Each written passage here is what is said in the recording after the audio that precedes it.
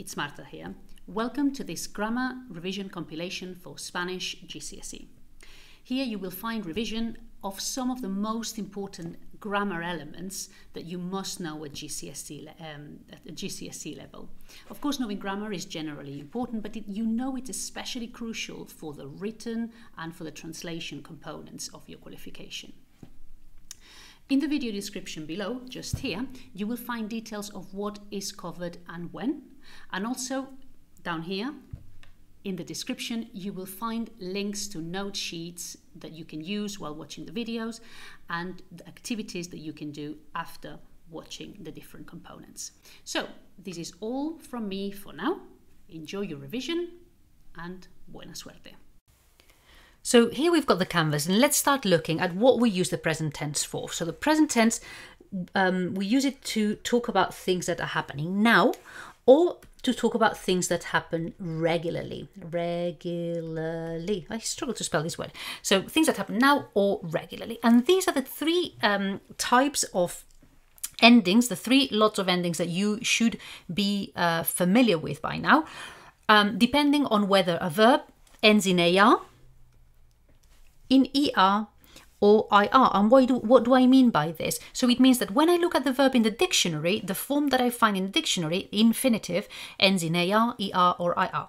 Okay, so if it's a verb like hablar, AR ending, these are the endings that I'm going to use in the present tense. So I speak will be hablo, you speak hablas, he or she speaks habla, we speak hablamos, you guys speak habláis, uh, they speak hablan. Okay, same thing with comer for ER verbs, so I eat, como, and so on. Como, comes, come, comemos, coméis, comen.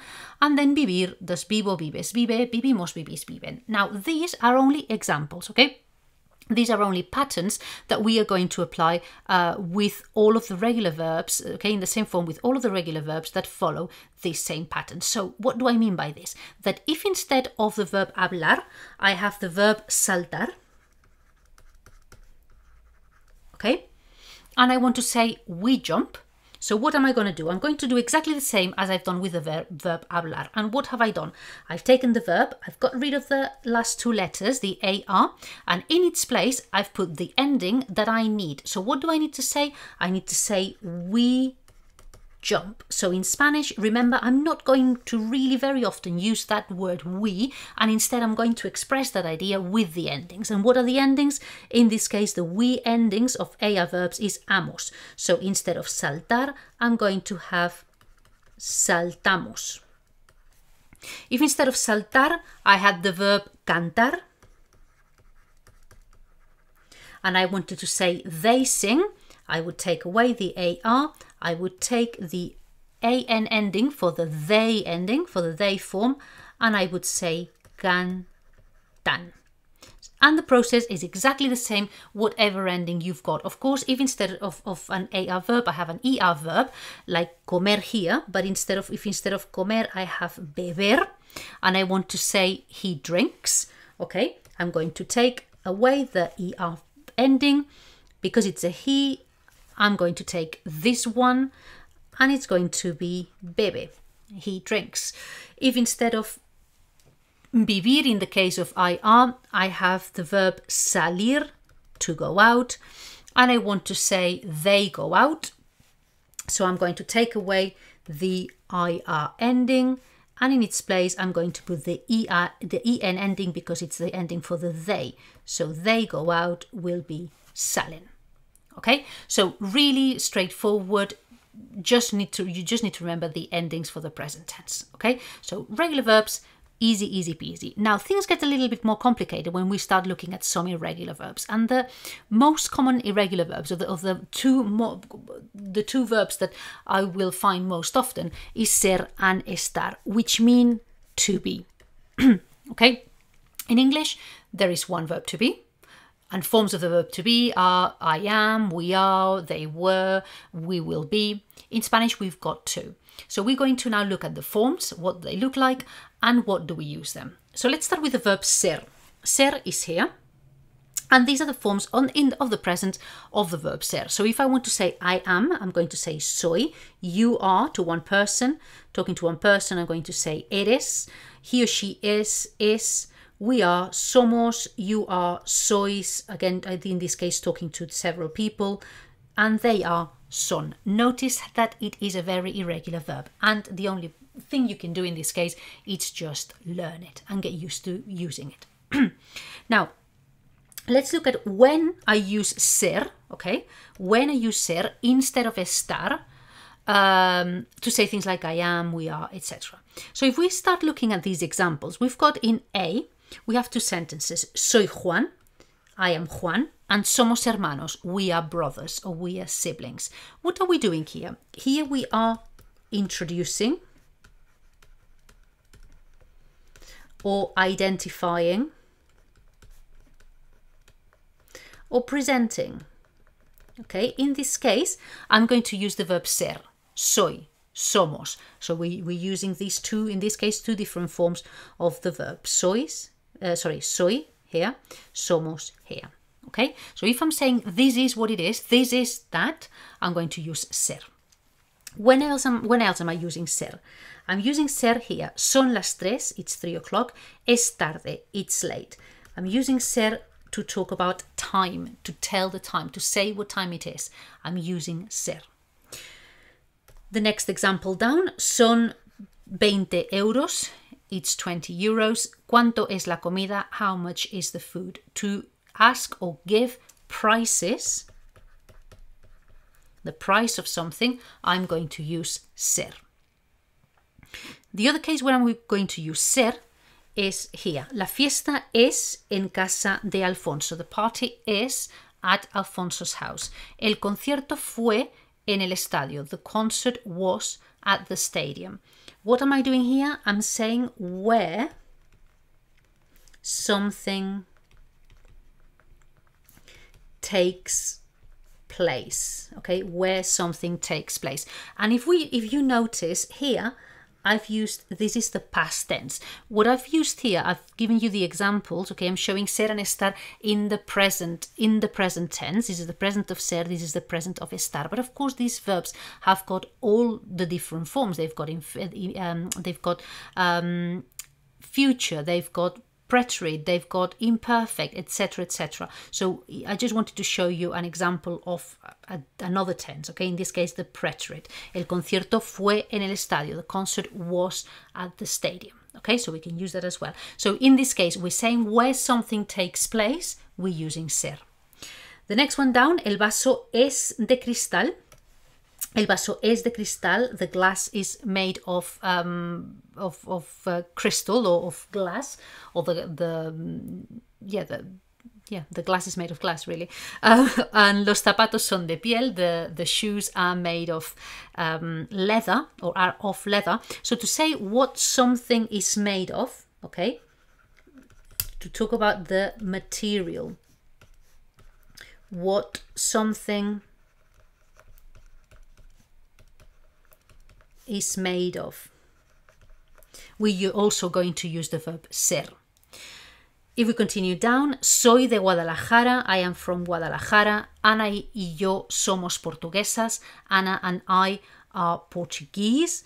What are we doing here? We are saying where, sorry, where somebody is from, or we are talking about someone's nationality or origin okay in that case we also use ser okay we also use ser and we've got a couple more cases Andrés es cocinero Andrés is a cook. Yo antes era recepcionista. In this case, notice this is the imperfect form. I before I used to be a receptionist. What are we talking about here? We're talking about jobs or professions. Okay. In that case, we also use the verb ser. And finally, Miguel es bastante tímido y yo no soy muy alta. What we're doing here, in, in sorry, in the first sentence, Miguel is quite uh, timid or quite shy, and no soy muy alta is I'm not very tall. what we are using is describing. Okay, we're describing, um, and we are giving. We're going to say permanent features okay? Describing permanent features about someone's personality or, or about someone's um, appearance okay? If someone's not very tall and you're an adult it's unlikely that's going to change. If someone is quite shy it's also quite unlikely that's going to change. So in, in things that are permanent or relatively permanent we use the verb ser okay? So do remember all of these it's quite tricky sometimes. I know it can be quite tricky sometimes to remember exactly every single case where we use ser. But if you remember some of these sentences, okay, when you have to say, for example, all the time, is it um es okay? If you, if you remember the, the, the time that if you remember that you say son las tres, you will know, okay, yes, in time it's ser. Or if you remember, I don't know, es muy alta, es muy alta, that's that's ser. Okay, and, and if you remember examples rather than a list of cases, that's going to help you remember better and be able to apply it. Okay. So let's have a look now at estar. So the other verb to be, when do we use estar? So we're going to use estar for, if we look here, el hotel está en la costa. The hotel is on the coast. Estamos en casa de Luis. We are at Luis's house. So what we are talking about is location. Okay? Location, where something or somebody is. Okay? Different from where something takes place. Okay? Bear that in mind. Where something is is the verb estar. Los perros están ladrando o está lloviendo mucho hoy. The dogs are barking and it's raining a lot today. What are we doing here? Here we're using the present continuous. Okay, present continuous. So the dogs are barking. It's that form of the R plus the ing. It is raining. It is raining with the gerund, with the ing ending. Okay. If we're using that tense, that tense is or that form is made with the verb estar. And finally, if we look at the last example, we've got estoy muy cansada, I'm very tired. Estamos enfadados con María, we are annoyed with María, we are angry with María. Uh, and el suelo está muy sucio, the floor is very dirty. What we are doing here is describing, okay, we are describing, but we are describing non-permanent non-permanent features or moods. Okay, so I am annoyed. Estoy enfadada. That's not permanent. That's not part of my personality. That is, uh, this is how I'm feeling at the moment. So I'm going to use estar. Okay, here el suelo está muy sucio. The floor is dirty. Being dirty is a um, a temporary condition that can be changed. Okay, so we use the verb estar. Let's remember that there are lots and lots and lots and lots and lots of adjectives that you can use to describe people, both in personality wise and also um, physically wise. And that it's going to be to be really important that you you know as many as possible of these for your picture description, for example, or for when you're writing to be able to describe someone really well. So remember that if we are using the verb estar, if we're going to use someone's per- to, to describe someone's personality, sorry, someone's uh, mood, how they're feeling at that point, okay, important that we can remember remember words like, for example, animado, cheerful, animado.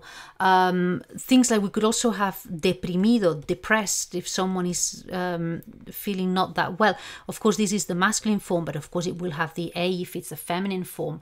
We could also have words like triste, sad, or contento, contento or contenta, feliz. We could also say estar de buen de buen humor, to be in a good mood, or de mal humor, to be in a bad mood. Okay, so remember we've got lots of personality adjectives and, and, expressions that we can use. And equally, if we're describing, sorry, not personality, mood or, or, or, or, frame of mind or the way you're feeling at that point. And there's also lots of adjectives that we can use to describe someone's personality.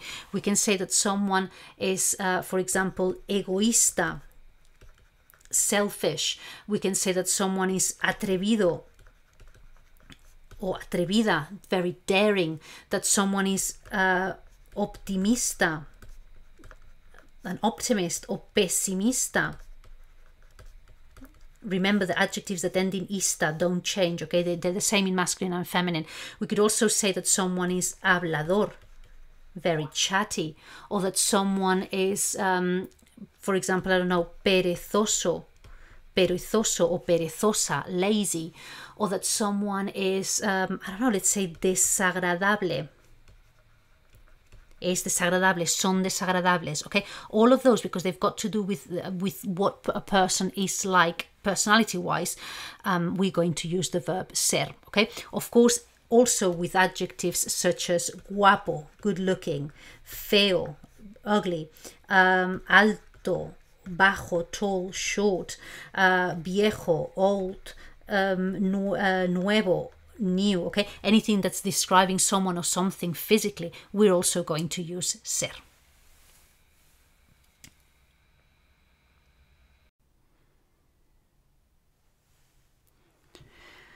Right, so here I am with this uh, second canvas, and this is on the reflexive verb. So this is our grammar part of the session.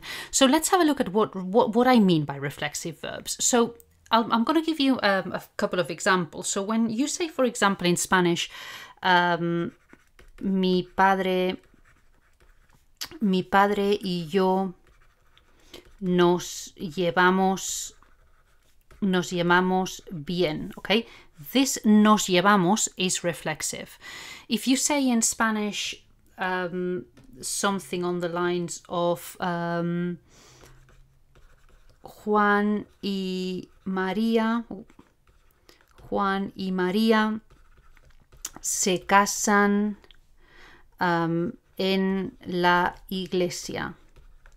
Juan and Maria are getting married at the church.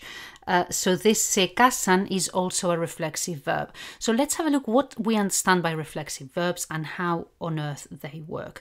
While I'm talking about these reflexive verbs, just something to bear in mind. Most of what I'm going to be uh, explaining is going to be based on the present tense, okay, which we've got here.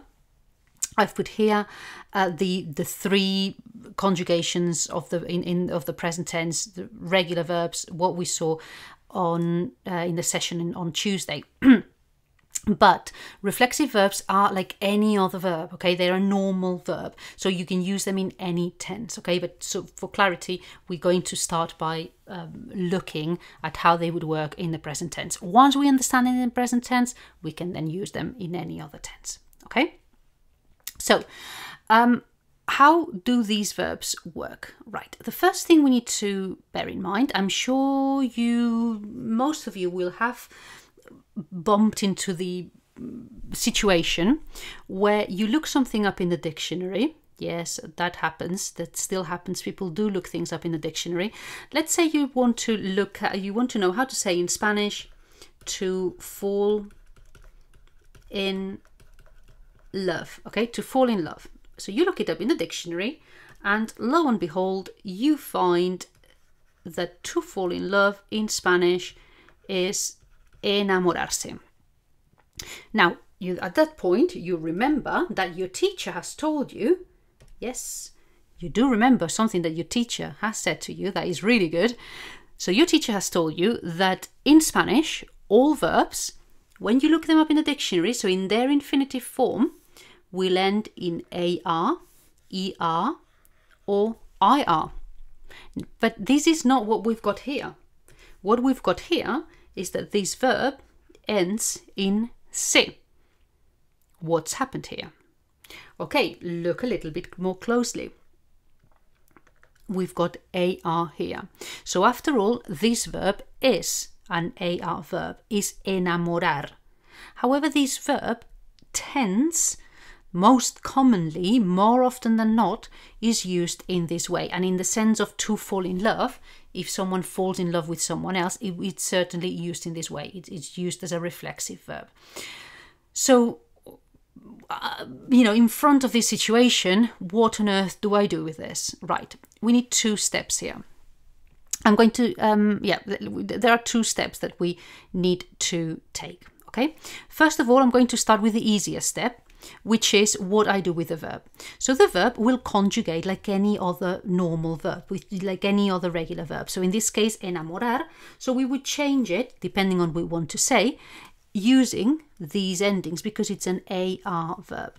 Right? So if I want to say that I fall in love, I may or may not use the yo, and I will say enamor losing the AR, and I'll add the O ending. If I want to say that you fall in love, I'll say enamor, and then I'll use the I'll use the AS. If I want to say that he, she fall in love, enamor, ah. If I want to say that we fall in love, enamor amos. So notice it, it works like any other verb, okay? Or, any other regular verb. So vosotros enamoráis and they fall in love. I'll bring this down up a little bit. Enamoran.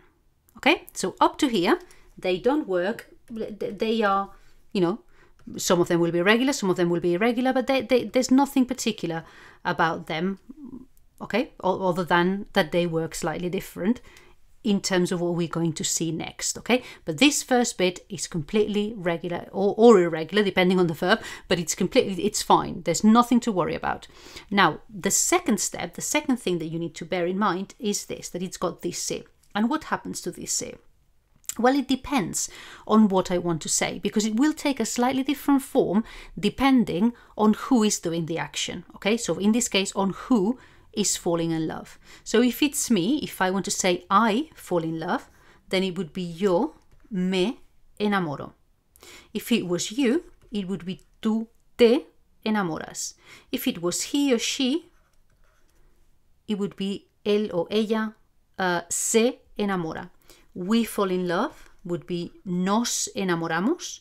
You guys fall in love, sorry, you guys fall in love would be os enamoráis. And they fall in love would be se enamoran okay? So notice how these are optional okay? As you will have learned by now as you will know these you can you, you may use them you may not depending on the context depending on what you want. But these in the case of reflexive verbs these are compulsory. You have to use these um, pronouns okay? And you have to use the right one for you know depending on on the situation. So whenever i do something it will be me you will be te he she or you in the form of respect se we will be nos os and se. And notice how for each of these um, uh, each of these pronouns therefore corresponds an ending okay? That when when they are reflexive verbs they need to they they go sort of in pairs okay to this pronoun corresponds this ending and so on and so forth okay? So if um, in that case as i had um, up, um, up there had the verb casarse okay to get married casarse if i wanted to say they get married i would say um, so i would take this so in the case of se of, of they or he that the se stays se so this se would, go here and because it's they I need the A and A N ending. So it would be cas removing the AR and se casan they get married okay? If instead of casarse it was to get annoyed okay?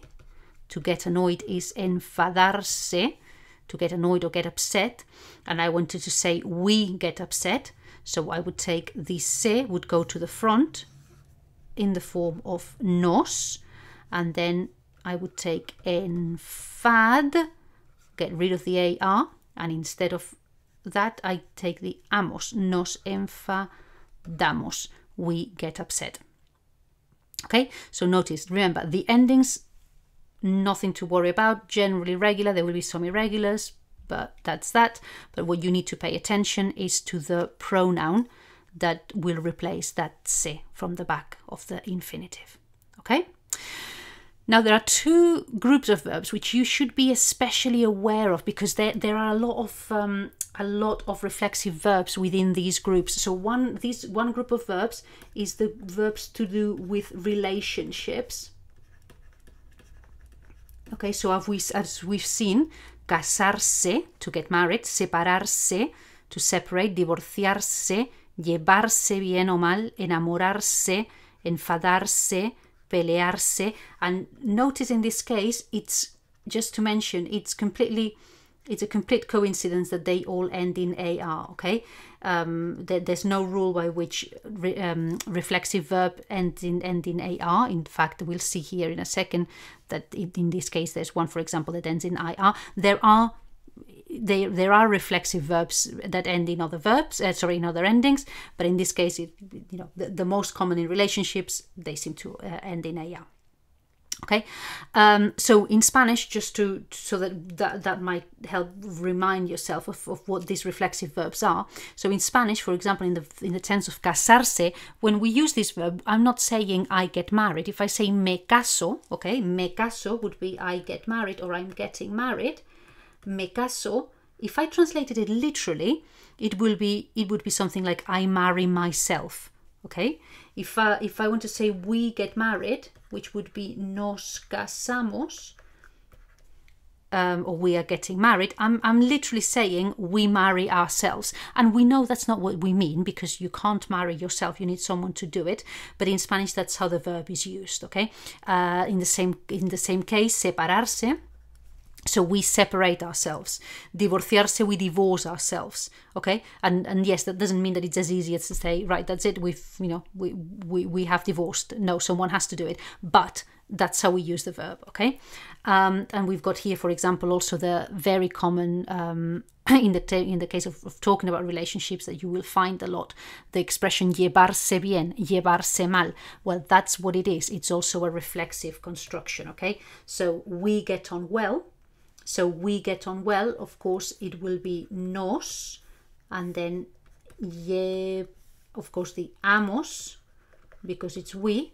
And then if we get on well, nos llevamos bien. If I want to say we get on badly, nos llevamos mal. Okay? In the same way that this happens with relationships, it also happens with verbs of daily routine. Okay? Verbs of daily routine, like despertarse, levantarse, ducharse, lavarse los dientes, peinarse, vestirse, acostarse. So in Spanish, I wake myself up, I, I, I um, get myself up, I shower myself. So for example, if I wanted to say I have a shower, in Spanish I'm saying I shower myself. So I need to, to take the se and turn it into a me, and then duchar would conjugate normally. Ducho because it's I okay? If i wanted to say i uh, sorry let's say we get dressed okay? Um, so in this case the se because it's we get dressed it will be nos and then it's vestir so it's an ir verb. So it's we so we need the imos ending. So we need nos vestimos okay so notice how I need to be juggling both things, the pronoun at the front and also the verb ending. Okay, one thing to bear in mind is the last thing I'm going to mention, infinitives. Okay, sometimes sometimes there are some constructions where I need to use infinitive. So for example, if I want to say um, I can't uh, I can't have a shower this morning, let's say the boiler's gone. Okay, I want to say in Spanish, I can't have a shower this morning. So I can't is in Spanish no puedo. Now the verb poder is always followed by infinitive. Okay, so I need the verb in infinitive after this just because the construction so um, so demands it. So have a shower, to have a shower, we've seen is ducharse. Okay, so I would be tempted to say no puedo ducharse esta mañana, but there's a problem because it's me who can't have a shower.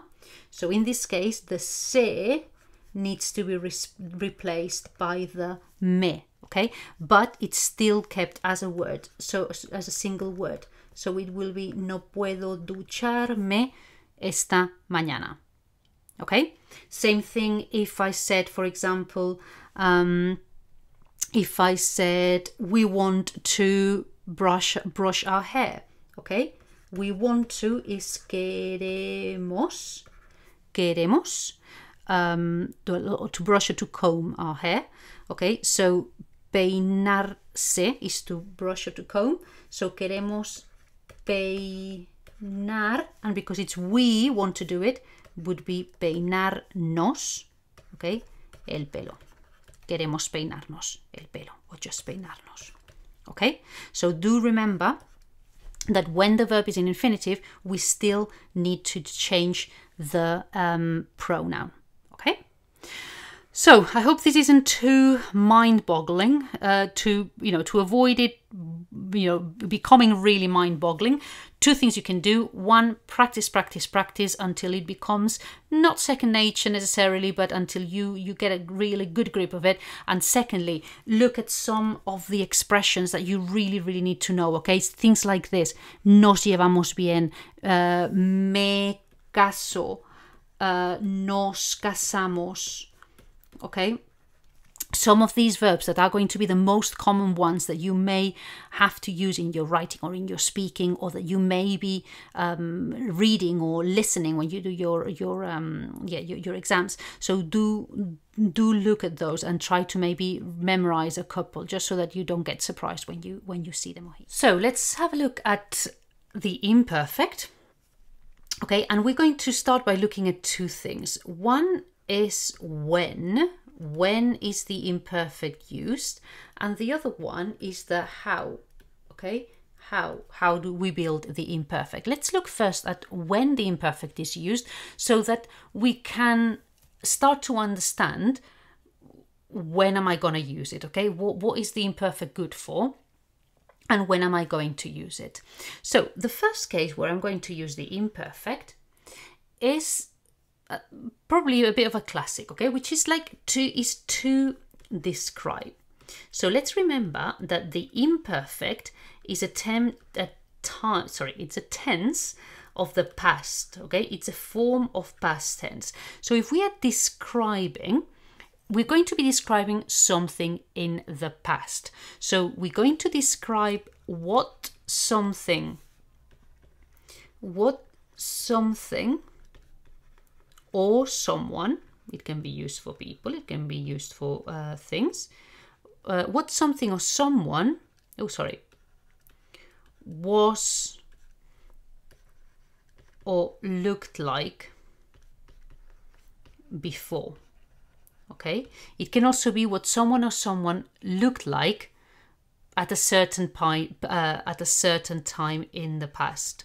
Okay, at a certain time in the past. So, what do I mean by this? If I'm talking about my holidays and I want to describe what the hotel was like, so I'm going to I'm talking about my holidays, I'm talking what I did, I'm talking about where I went. So I'm saying I'm explaining everything in the past. So when I'm explaining when I'm describing what the hotel was like, I'm also describing it in the past, like like I do in English. I just said what the hotel was like. It doesn't mean that that hotel's not there anymore. It doesn't mean that that hotel is now any different. I may have been on holiday last week. The hotel is still the same, but because I'm expressing, I'm explaining everything in the past. I'm also, if I want to also describe the hotel in the past tense, this is the tense I'm going to use. It's the imperfect. Okay, so a sentence in the imperfect to describe the hotel, I could say, for example, el, uh, sorry, el hotel, el hotel era enorme. El hotel era enorme. And as we will see in a minute, this era is a form of the imperfect. Okay, if I translate it, the hotel was enormous. I could also say el hotel, el hotel tenía dos piscinas. The hotel had to swimming pools. It doesn't mean it doesn't have them anymore. It just means that I'm, I'm, I'm describing something from the past, so the hotel where I stayed. So I'm, I'm describing it in past tense. And if I'm describing in the past tense, I'm using the imperfect. I could also say, um, I could also say, if I wanted, for example, to describe um, my grandma, okay, what she was like, I could say, mi, mi abuela, mi abuela tenía el pelo gris. My grandma, sorry, my grandma had grey hair. Mi abuela tenía el pelo gris. And I would also be using the imperfect because I'm describing what someone used to be like. Okay? So important um, important to understand one of the uses of the imperfect another use of the imperfect i'm going to use a different color in this case another use of the imperfect the second the second one i'm going to to tell you about is uh, that we use it to say or to explain what what someone used to do in the past. Okay, we can also say for what, we can also use it for what used to happen. Okay, so habits, things that happened on a regular basis. So, for example, if I used to play football, okay, if I used to play football in the past, when I was a child, I could say cuando era pequeña, yo jugaba a fútbol. Yo jugaba a fútbol, and this jugaba is the imperfect, okay? And in this case, I'm not explaining, I'm not describing something that I did once or twice or something that happened in a particular occasion. I'm explaining what used to be the case. So I used to play football. I could say uh, Manuel used to dance ballet. So I would say Manuel Manuel bailaba, oh sorry, bailaba ballet. Okay, Manuel bailaba ballet. Okay, and again, it's something that he may not do anymore. It's something in the past. He he danced ballet. He used to dance ballet. So I'll, I'll use it in the imperfect. And this one is really, really important, okay? And it's important to notice that it is not something that happened once, twice, it's not an event, it's uh, something that happened on a regular basis. I'm sorry if you hear a little bit of background noise. Right now, there's a helicopter just hovering around. Um, so I hope this is not coming through the microphone too, um, too loudly. Let me carry on. And the third case where I'm going to use the imperfect is to say, okay, to say what someone was doing in the past. So let's let's say for ongoing ongoing activities. So for example, what do I mean by this? If I I don't know if the phone rings and and I'm having a shower, okay, if I'm explaining that this happened yesterday, if I want to say the phone rang while I was having a shower, when I was ha- having a shower, this having a shower, this me having a shower, is an ongoing activity. So this was happening when the phone rang. Yeah. So this activity of having a shower, which is what was happening when the phone rang, this would be in the um, imperfect. Okay, so uh, in this case, this would be in Spanish, sonó el. Oh, hold on. El teléfono, sonó el teléfono, the telephone rang, and notice this is not imperfect, this is uh, preterite, okay? So ignore this one for now. Sonó el teléfono uh, mientras, while, me duchaba. Okay, sonó el teléfono mientras me duchaba. And this duchaba is in the imperfect because it's an ongoing thing. This was happening when the phone rang. I was in the shower. Okay, so it's these three cases mainly where we will use the imperfect as the, as the as the past tense that we will need to use. Okay. Now, so having seen this, let's have a look at how we build the present, uh, sorry, the, the imperfect, and then we will, I'll, I'll give you some more examples so that you finish understanding how it all works. So if you look here on the on the left hand side or towards the center of the page, you've got you've got here three examples, one for each type of verb. So this one for the AR verbs, this one for the ER verbs, this one for the IR verbs. And this is what happens. The main thing you need to remember is that there are two different sets of endings. This one for the AR ending, which are characterized by the presence of, of an aba, okay? navegaba, yo navegaba, tú navegabas, él, ella navegaba, navegábamos, navegabais, navegaban, okay? And another set of endings, which is for both the ER and the IR verbs. Okay, these two type of verbs, the ER and the IR verbs, they do this, they, they share the same endings. And that's got the IA. Leía, leías, leía, leíamos, leíais, leían. Recibía, recibías, recibía, recibíamos, recibíais, recibían. Okay, same set of endings. So two different sets of endings, relatively straightforward. Just remember AR has one end, one set, ER and IR has another one. So if I what would I what would I use this for? So let's say for example that I used to receive lots of letters. So before the internet I used to receive lots of letters. So I've got recibir is to receive, which I've got it here. Because it I want to say I used to receive, it's going to be this one. Okay?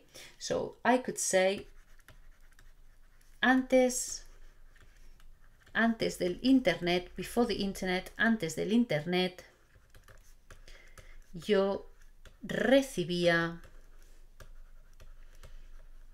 muchas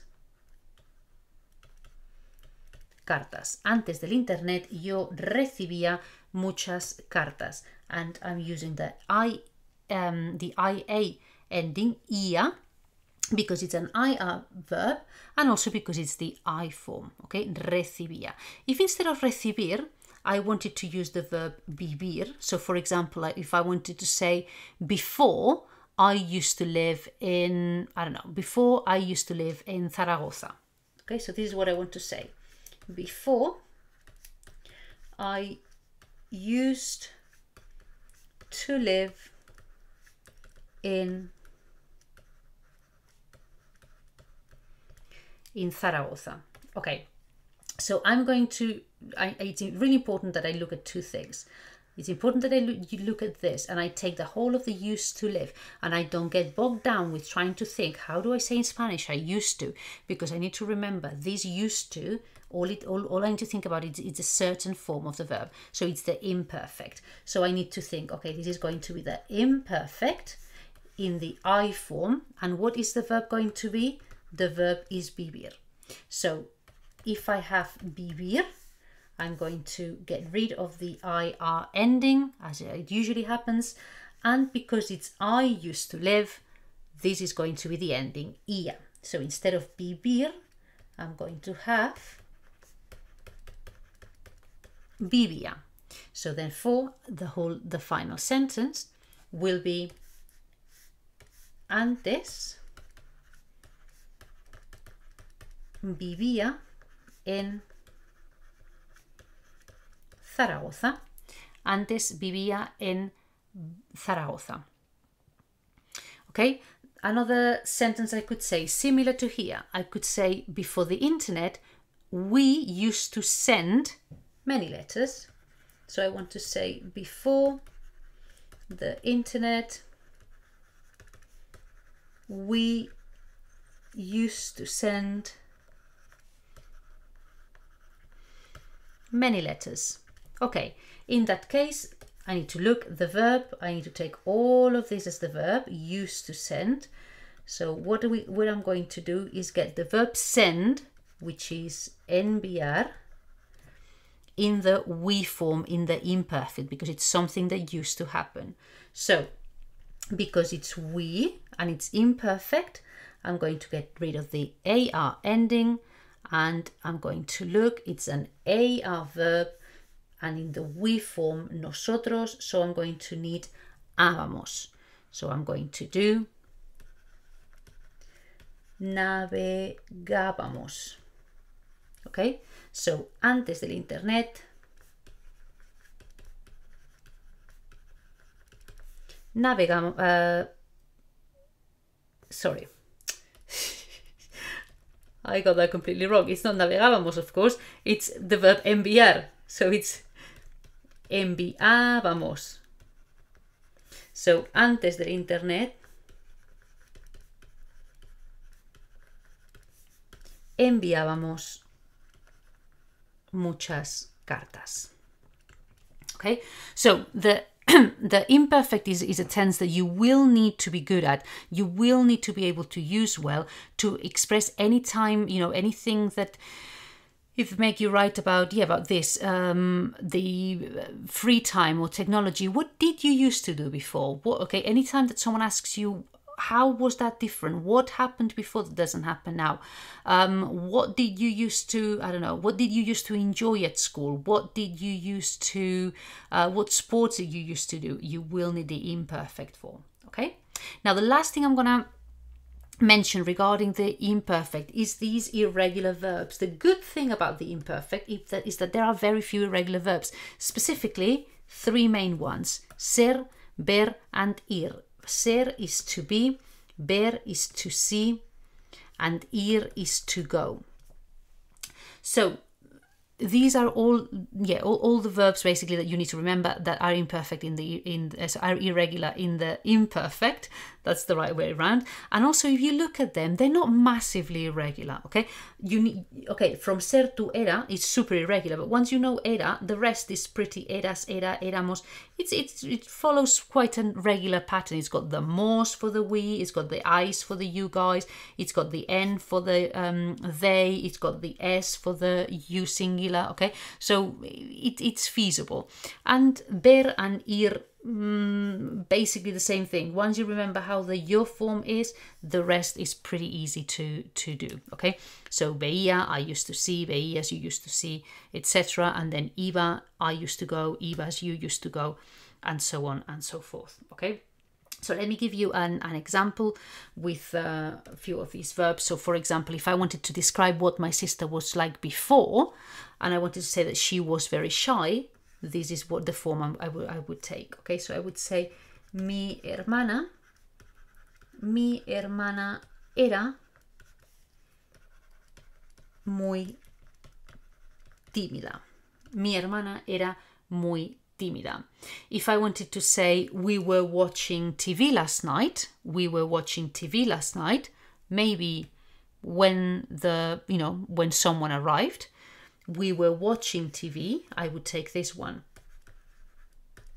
Veíamos, this is an eye by the way, just it doesn't look very much like an eye. Veíamos la tele anoche, last night, cuando llegó María, when María arrived, okay? We were watching TV last night, veíamos la tele anoche, cuando llegó Maria. Okay, and if I wanted to say they used to go on holiday to the Canaries, okay, they used to go iban. So iban de vacaciones a las Canarias. Okay, so imperfect, easy, you know, relatively straightforward endings just you just need to remember when to use it the three occasions when you need to use that imperfect. And the last thing really that you need to remember is a few expressions that um, that you may need to use quite often with the imperfect okay? Things like for example cuando cuando era pequeño o pequeña when i was a child when i was small when i was little or cuando cuando era más joven, when I was younger, or antes, before. Okay, so think of time expressions that you could use to when you want to talk about what things were like before for example okay and that will will help you frame the sentence a bit more um, correct Vale, the negative. Um, why do I personally think the negative is important? Okay, um, let me move this a little bit. A little bit, little bit off center. Um, so why do I think it's important? Right, I personally think it's uh, the negative or, or being good at the negative is important for two reasons. One reason, reason number one, is for your listening and reading um, activities and, of course, exams. So, uh, if you hear, for example, the expression, I don't know, voy a la piscina, you will think, oh, this person goes to the swimming pool. But of course, you will be mistaken if you don't hear the negative before. So, no voy a la piscina. or nunca voy a la piscina. I never go to the swimming pool. Okay, so really important to be really tuned into these sort of expressions that can change completely the meaning of what you just heard. And the second reason is for writing, okay, for your writing, or also could be for your speaking. And it's that being able to say what you don't do, what you've never done, what um, you know, what you didn't see, what okay, being able to say the negative, being able to use the negative or negative sentences makes um, your writing and your speaking more interesting. Okay, because Mm, you know, let's face it, many of us lead pretty boring lives. So, of course, if we if we can only talk and write about what we do do, it would be pretty boring. Now, once we start writing about what we don't do or never do or haven't done, then things become a little bit more interesting. So, let's have a look at what are these negative expressions, these negative expressions that we must know. Okay, now the first one, the king or queen of negative expressions is no. Okay, no. And no, one thing that we need to remember is that it always appears before the verb. So, how do we use no? Okay, so I can say voy a la piscina. Okay, I can say voy a la piscina. I go to the swimming pool. If I want to make this negative, because the verb is here, I'll say no, no voy a la piscina. I could say María juega al baloncesto.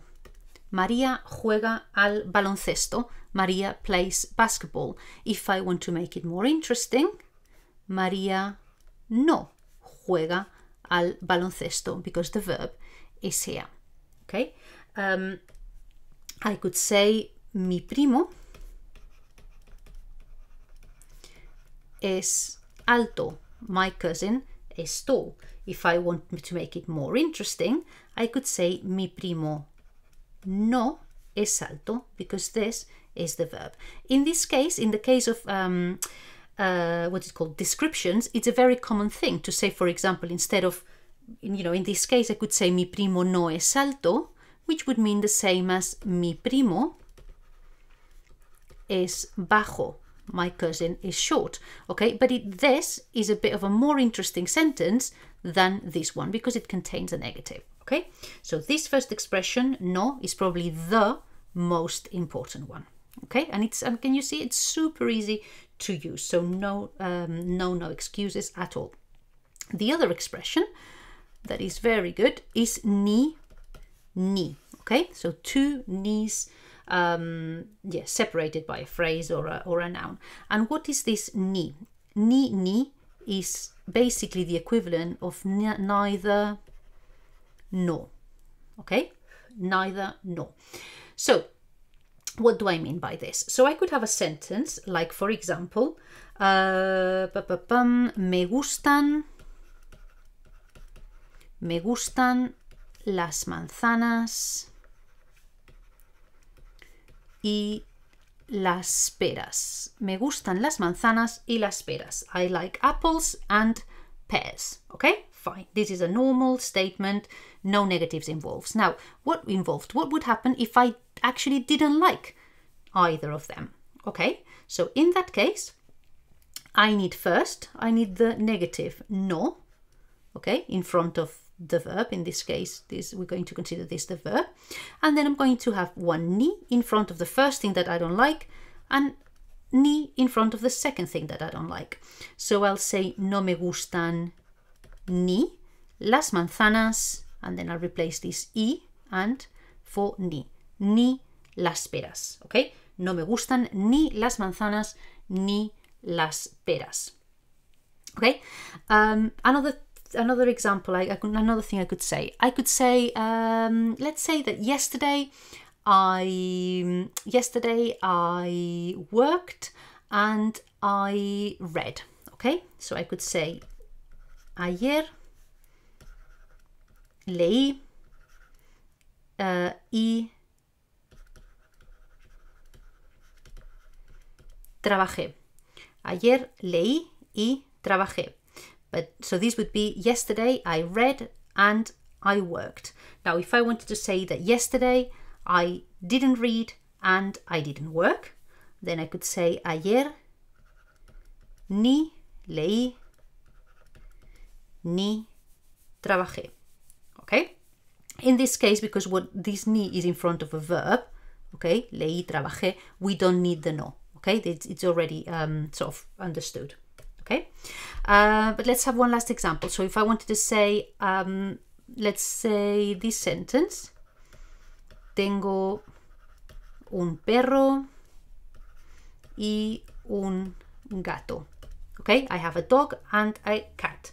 If I want to say I haven't got a dog or a cat, then I would say no tengo, of course this T would be little, ni un perro,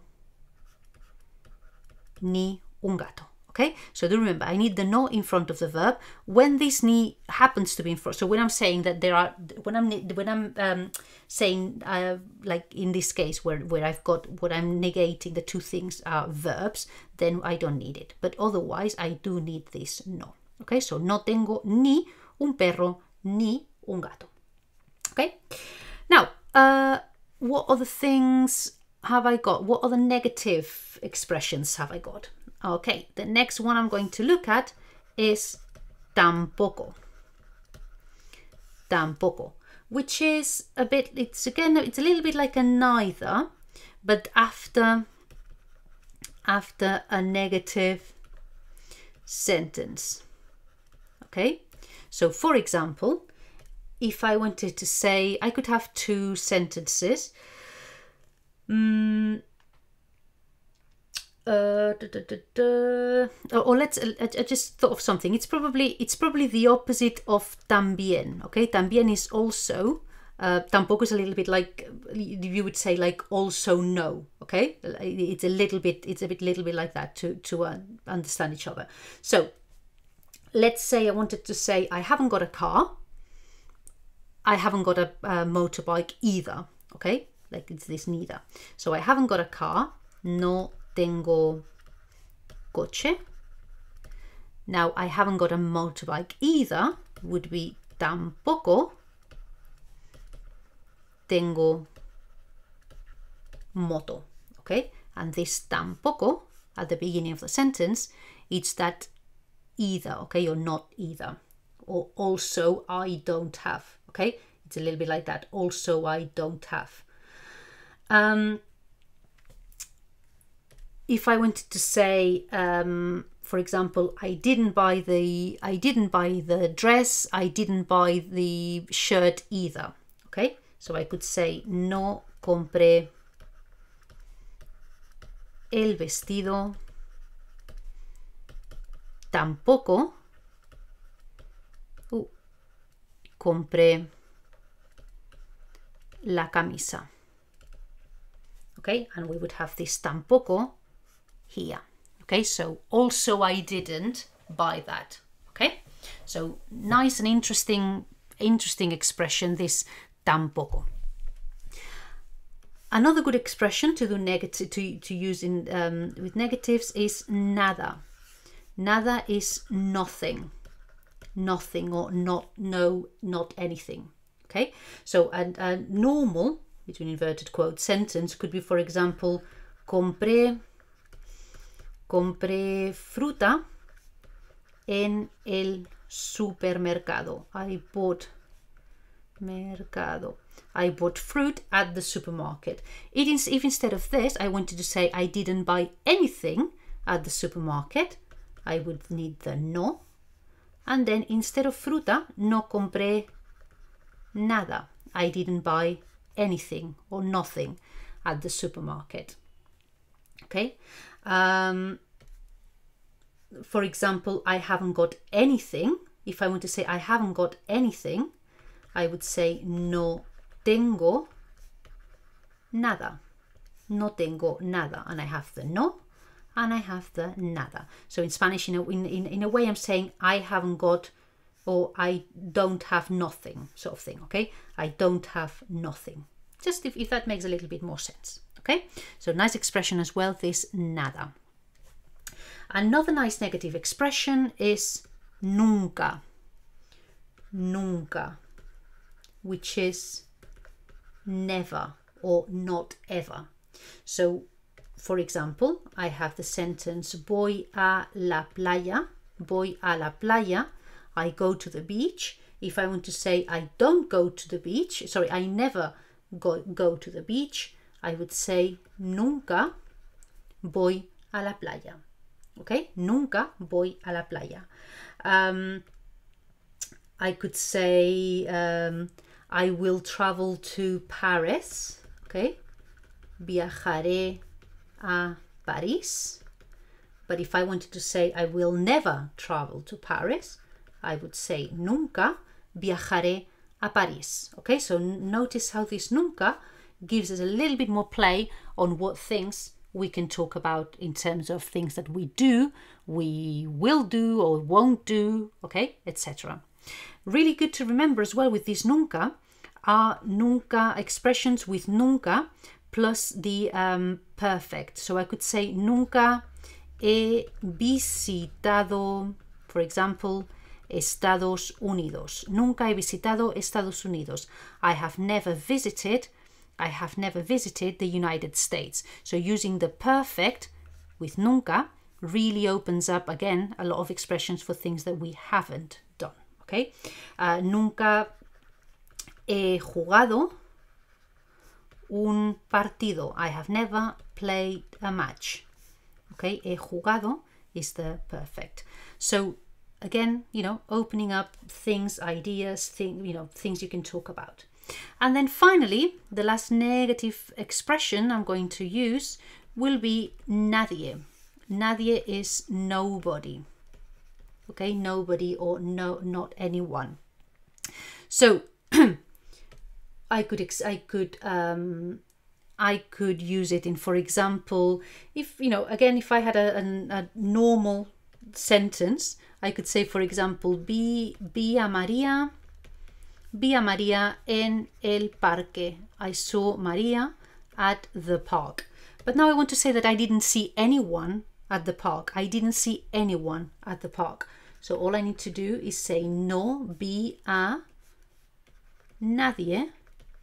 No vi a nadie en el parque. Okay? No vi a nadie en el parque.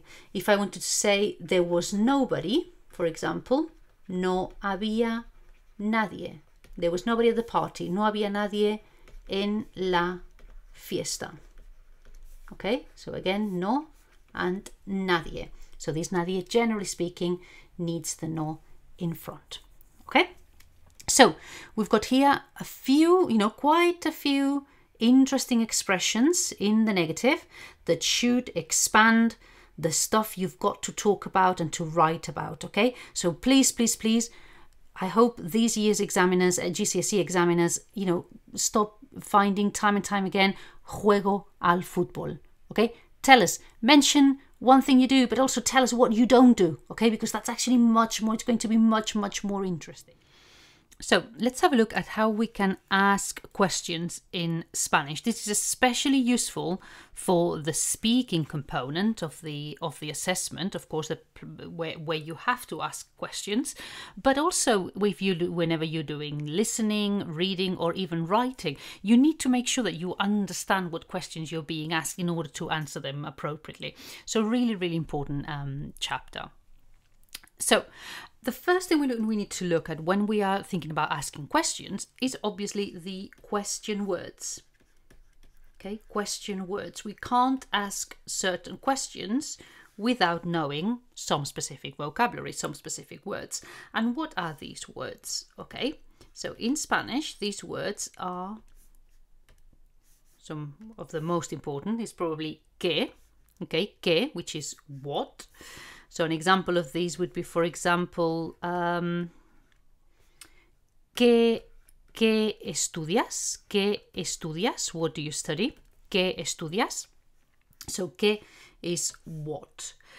Another important uh, question would be, oh, sorry, another important question word would be quién or quiénes. ¿Quién o quiénes? Who? I could say quién vive allí, okay? But when I know that the what who I'm asking about is more than one person, for when I know for a fact that who I'm asking about is more than one person, I would use quiénes. So for ex- for example, I could say quiénes vinieron a la fiesta. ¿Quiénes vinieron a la fiesta? Who came to the party? Another important um, question word is dónde. ¿Dónde? Where? ¿Dónde? So I could say, for example, ¿dónde están las llaves? ¿Dónde están las llaves? Where are the keys? Another important word would be cómo. Cómo, how. So I could say, ¿cómo es el vestido? Literally, how is the dress? So this cómo is how, but it's also, sorry, it's also what like. Okay, what's it like? So in this case, this would be a what is the dress like? What's it like? But if I ask, for example, um, ¿Cómo estás? ¿Cómo estás? In that case, ¿cómo is how. How are you? Okay. Another important question word would be ¿por qué?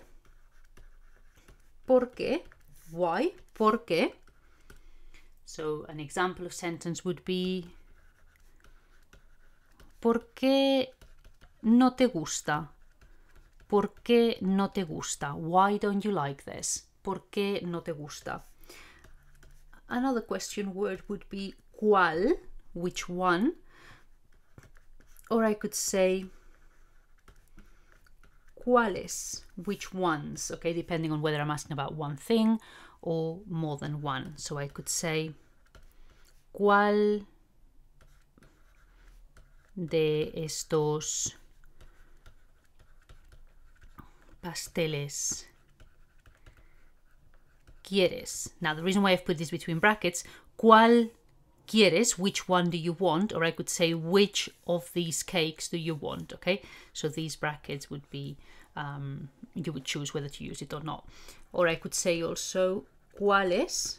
¿Cuáles quieres? Which ones do you like? Okay, and the final uh, question word we're going to look at here is going to be cuánto, cuánta, cuántos, or cuántas, which means which one for cuánto and cuánta, or which ones for cuántos and cuántas. So I could say, um, for example, I don't know, cuántos plátanos has comprado? ¿Cuántos plátanos has comprado? How many bananas have you bought? Okay? So, really important question words. You can't ask questions most of the time if you don't know question words. Important to know as well is that you can combine these question words with prepositions to create other question words. What do I mean by this? Okay, you know that the word de means off. Yes? Okay, so uh, off or from. Okay, de means off or from. I know that donde is where. So if I want to say where from, I'm going to ask de donde. So I put a preposition before the um, question word, and de donde is where from. Another example could be that, for example, uh, para is for. Okay? So if I want to ask who for, So I know that who is quién. So I could ask para quién. So for example, para quién es el regalo? Who is the present for?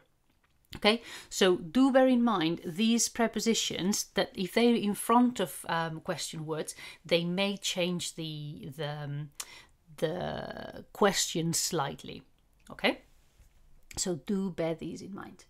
So if we go properly to how we ask questions, we will see. I mean, we've seen here some examples. ¿Qué estudias? ¿Quién vive allí? quiénes vinieron a la fiesta, dónde están las llaves, cómo es el vestido, okay? And there are two ways, two things we need to bear in mind to um, when we're when we're trying to ask questions.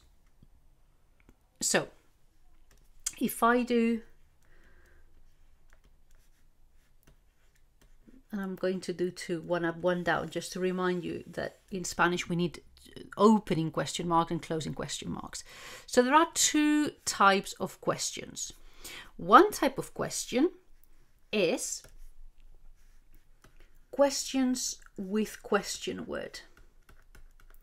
Questions with question word, which we could ask, which we could call open answer questions, okay? What do I mean by this? Any of these questions above are questions with question words. So they are questions where the answer is not just going to see to be sí or no. It's not just going to be yes or no. Okay? If I say ¿Qué estudias? What do you study? I'm not going to say sí or no. I'm going to give an answer where it's going to be at least the name of a subject. Estudio matemáticas okay? So when in this type of questions if we look at you know if we look at for example this question dónde están las llaves? or this one cómo es el vestido? we may see how we've done this question. So let me write the question again here. Dónde dónde están las llaves and if I write the question here and we look at this question, we may quickly work out at how we ask this type of question. The questions where the answer is not yes or no. So what do we have? So on first of all, we've got the question word donde, where.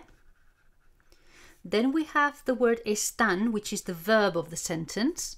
And then we have las llaves, which is the subject of the sentence, is what is, yeah, or what are, where are the keys. Yeah, the keys is the subject. So we've got here, we see here that this type of question follows the, in this type of question, the subject and the verb are in the um, opposite order of what would be a normal sentence. So if I said, for example, the keys are on the table, that would be las llaves están en la mesa. Las llaves están en la mesa. The, the keys are on the table. And this sentence, which is a statement, a normal statement, follows the normal order in Spanish, which is the subject, then the verb, and then the complements. Okay. However, here in the question, we can see that the subject is here and the verb is here. So the order has reversed. Okay. So this is the first thing to remember that when there is a question word, Generally speaking, the subject and the verb will be in reverse. Okay? So, um, let me give you another example. If I, if instead of where are the keys, I wanted to say, for example, when did Alex arrive? When did Alex arrive? Okay, when is cuando. When did Alex arrive? So now I need the he arrived, llegó, and now I need Alex because he is the subject of the verb. He's the one who arrived. Okay, so again, here I have the verb, here I have the subject. If I wanted to say Alex arrived at three, then that would be Alex llegó a las tres. Okay, and in this case, we have the normal subject verb order of the sentence. But in the question, because the question's got a question word, has is started with a question word, I need to reverse the order. Okay? So this as far as the questions with question words are concerned. But what happens when the questions are without question word. And generally, these will be um, questions that require a yes, no answer. In that case, it's easy peasy. The sentence order stays the same as in the statement, okay, as in normal affirmative or a normal statement. What do I mean by this? By this, what I mean is that um, let's say I have the I have the sentence uh, Luis fue al monte. Okay, Luis fue al monte. Luis went to the hills. Went up the hills. Okay, this is a statement. Now, if instead of stating that Luis went to the hills, fue, Luis fue al monte, I want to ask, did Luis go to the hills? Go up to the hills, yeah? Can you see that this question would, would require a yes or no answer, yeah? Um, in that case, all I would need to do would be in Spanish, put question marks. Or if I'm saying it, I would just change the intonation. Luis fue al monte instead of Luis fue al monte. So uh, if you can see here, the order of the sentence has stayed exactly the same. All that's changed is the intonation of the sentence and when we're writing it, uh, question marks before and after. Okay, another, let's give, let's have another example. Let's say, um, let's have, let's have a look at this sentence. Tu abuela, tu abuela compró manzanas. Your grandma bought apples. So this is a statement. Your grandma bought apples. Tu abuela compró manzanas. If I want to ask, did your grandma buy apples? Which would require a yes or no answer. Yes, they, yes, she did. No, she didn't. Did your grandma buy apples? How would I ask this? This easy. In, in, in written form, just add question marks before and after. In spoken form, ¿Tu abuela compró manzanas? ¿Tu abuela compró manzanas? I just changed the intonation and here is the question done. Okay, so these there are these two ways of doing of asking questions. One, if I'm requiring, if I'm asking for information, if I'm not asking just for yes or no, if I'm asking when, where, how, why, uh, how many, okay, in that case, I'm going to follow this procedure. Start with the question word and change the order of uh, subject and verb. Otherwise, if I'm asking for a, if I'm asking a yes or no question, just take the sentence, the same sentence as the statement, and just change the intonation or add opening and closing um, question marks. And there is your question without any other alteration. Okay? So I hope this makes sense. Um, and yeah, of course, do use it and do practice it because it's the only way of really getting it into your head. Okay? So the preterite is a form, okay, is a, is a tense of the past, is a form of a past tense. And what we use, you know, what, what we use it for is to talk about past events, okay, past events. And by this, I mean things that happened, okay, things that happened, or things that somebody did. Okay, very, very important. We don't use it for past descriptions, okay, what something was like, because we use the imperfect for that. And we don't use it for past habits, okay, things I used to do. Remember, we also use imperfect for that. So for things like past past events I went, I saw, I played, I learned, I sang, I watched, we danced, we okay, all of that would be preterite. So um, things to bear in mind is some very often when we use preterite with it okay with it we will use certain time frames sorry or, or, or time phrases. Okay, what time phrases are going to be closely associated with the preterite?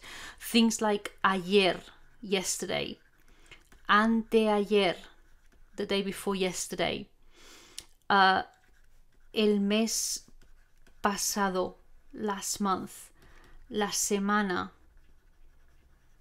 pasada, last week, el año pasado. Last uh, year. Hace, hace tres años. Three years ago. Hace tres meses. Three months ago. Hace tres semanas. Three weeks ago. Okay, so all of these all of these time phrases would usually uh, take us to talk about something that happened, something that happened yesterday, the day before, last month, etc. So they would generally be followed by the preterite. Okay, so let's see how we build the preterite. If you know how to build all the tenses, the present, the imperfect, the preterite follows exactly the same pattern, exactly the same model. So we've got, for example, here the verb viajar, viajar to travel. And what we do here to build the preterite is we get rid of the AR ending because this is this is a model. We're going to use viajar as a model of an AR type of verb. So uh, the type of verb where when I look it up in the dictionary, the form would end in AR. So what I'm going to do is get rid of the AR and in its case, in its place, I'm going to use these endings. So viajé for I travel, aste, viajaste for you traveled, o viajó for he or she traveled, amos for the we traveled, asteis for you guys traveled, aron for they traveled. Okay, so following this three this same pa uh, pattern, if instead of viajar I had cantar to sing and I wanted to say we sang, I would do exactly the same. I would get rid of the AR and in its place I would use the amos and I would have cantamos. Okay. Now, you may notice that I've put uh, there's a slight separation between this form and the other two, and that's because comer, so verbs that end in er, and salir, so verbs that end in ir, follow the same endings as each other. Okay, so if you see the verb endings here and the verb endings here for the different persons are exactly the same. And these are different from the ones here. So in the preterite, you need to learn two different sets, two different sets of endings. One set of endings for the AR verbs, another set of endings for the ER and IR verbs. Okay, so a verb in ER, what we're going to do in order to conjugate it and put it in preterite, I'm going to get rid of the ER and in its place I'll add an I if it's I ate, for example, comí, iste, comiste, I ate, yo, comió, um, he or she ate, imos, comimos, we ate, isteis, comisteis, you guys ate, ieron, comieron, they ate. And the same I'm going to do with IR verbs, exactly the same. If I want to conjugate salir, to go out, I'll get rid of the IR and I'll say salí, saliste, salió, salimos, salisteis, salieron. Okay, and the same for the same procedure. I um, I would follow exactly the same for any regular verb that ends in er or ir. So, for example, if instead of um, we ate, I wanted to say we drank, beber is to drink, so I would get rid of the er. And for we drank, I would say be bimos. Okay? And so on and so forth. So doing the preterite is relatively easy. The only thing you need to bear in mind is that there are quite a lot of irregular verbs. Okay, so let's look at some of the most common irregular verbs. The first group of irregular verbs is the one that's made up by these verbs. These are, these are, although it looks like two, there are actually three verbs here. Why is that? Because this form here, okay, this is the form, the six forms of the preterite of two different verbs, of the verb ser and the verb ir. Ser is to be, ir is to go. But for some reason, in the preterite, they've got the same forms. So, fui is going to be I went or I was, depending on the context. Fuiste is going to be you went, you went, or you were, depending on the context. Fue is going to be he went or he was, depending on the context, and so on. So, you're only going to know, depending on the sentence, whether it's to go or to be. So, for example, if I have fuimos de vacaciones, fuimos de vacaciones will be we went on holidays. Okay, we went on holiday. But if I said fuimos um, afortunados, fuimos afortunados, that will be we were lucky. Okay, so depending on the sentence, depending on what other information is on the sentence, I will know whether it is the preterite of ser or the preterite of ir. In either case, they are irregular, they've got an irregular um, preterite, and to be honest, all you can do is learn them. Okay, so just remember that it starts with fu, and then you add the endings. Okay, now the other irregular verb is ver, which is to see. Okay, and again, it's slightly irregular as well okay? Vimos visteis vieron. Important to remember what the endings are. And if i had to have a sentence i could say for example ayer vi una película. Yesterday i saw or i watched a film okay? So these two verbs or three are important to learn in the past tense because or in the preterite because they are some of the more, most common verbs that you are going to need especially especially this one. Okay? Now the other group of verbs that is worth um, bearing in mind is this one here. And what happens here? We've got here these verbs and by the way i've got here a little problem a little mistake. I've got a d here here that i've mistaken put an s so this should be p-u-d pud okay? I've got these verbs here these uh, seven verbs here that are pretty pretty irregular.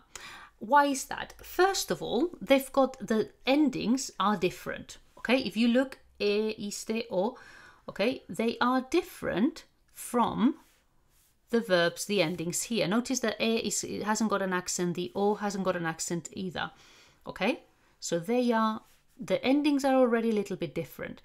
But also, instead of taking the stem, okay, instead of taking, for example, in the case of hacer, when I do the preterite, instead of taking the um, the stem, take away the er and add the ending, I'm not going to take this stem here I'm going to take this, okay? So if I wanted to say I did, because hacer is to do, so not only, I, so I need to take the H-I-C, ith, not take hacer, but ith, and then add the ending, ice, okay? If I want to say we did, again, I would take the ith, and then add the ending for the we, imos, okay? If I wanted to say they did, I would take the ith, and then add the ieron, which is the ending for the they, oh, not s, n, for the they. Okay, and the same happens with poner, to put, we'll do pus, so we'll say puse, pusiste, puso. Estar, to be is the other the other verb estar, the one for to be at a place, etc. So estuve, so I, for example, I I was on holiday would be estuve, de vacaciones. So notice how instead of taking est, est, I've taken estub and added the ending, okay? Haber, to have or to there be, would be ub. So for example, if I want to say there was a strike, I would say hubo, because it's there was, una huelga, okay? Hubo. Poder will do pud, saber will do sup, and tener will do tub. Okay, so if I want to say they had a baby, I could say tuvieron, tuvieron, taking the tub and the ieron, tuvieron un bebé. Okay? So really important to bear in mind some of these verbs. There are some that may not be as common, okay, that you may not encounter so often, but a verb like hacer, tener, uh, and probably haber and estar are probably the most common ones that you should bear in mind. Okay, that, that, that the, the, the stem changes. Okay, finally, the last thing I'm going to mention is some, um, I will call it common spelling, spelling changes, spelling changes, they're pretty common within in the preterite. And we'll see, let me show you what I mean by spelling changes, right? I've got, for example, this verb here, hacer. Okay, we've seen that in the preterite, hacer doesn't do this. It takes ith and then the ending. Okay, now if I want to say he or she did, I would take the ith and then I would take the o. Okay, so I've got hice, hiciste. I would need hizo, hicimos, hicisteis, hicieron. Yeah? Okay. The problem though is that if I read this, here it doesn't say hizo. Here it says ico, because C before O sounds k, not th. So in this case, because I need it to start to still sound like a th, I need to change this C for a th, etho. Okay, so what I need to and what I need to remember here is that if I do want to do the th sound, I will use a C in front of E or I. This will be the and thi but I will use a Z in front of A, O, U to make tha, tho, thu, okay? Because this, this sounds ka, ko, ku, okay? So bear this in mind. Another thing that you may that you may also want to keep in mind, bear in mind, is for example what happens with a verb like sacar, to take out. Okay, if I want to say I took out, I would take I would get rid of the AR and I would add the E with the accent for the I took out. But if I read this, okay, this doesn't say sake as it would need to be. This says sace, exactly the opposite of what was happening before. Yeah, so here it sounds th and I want it to sound like k. So if I want it to sound ke, I need I need a QU. Okay, so K in front of E or I, I need a QU.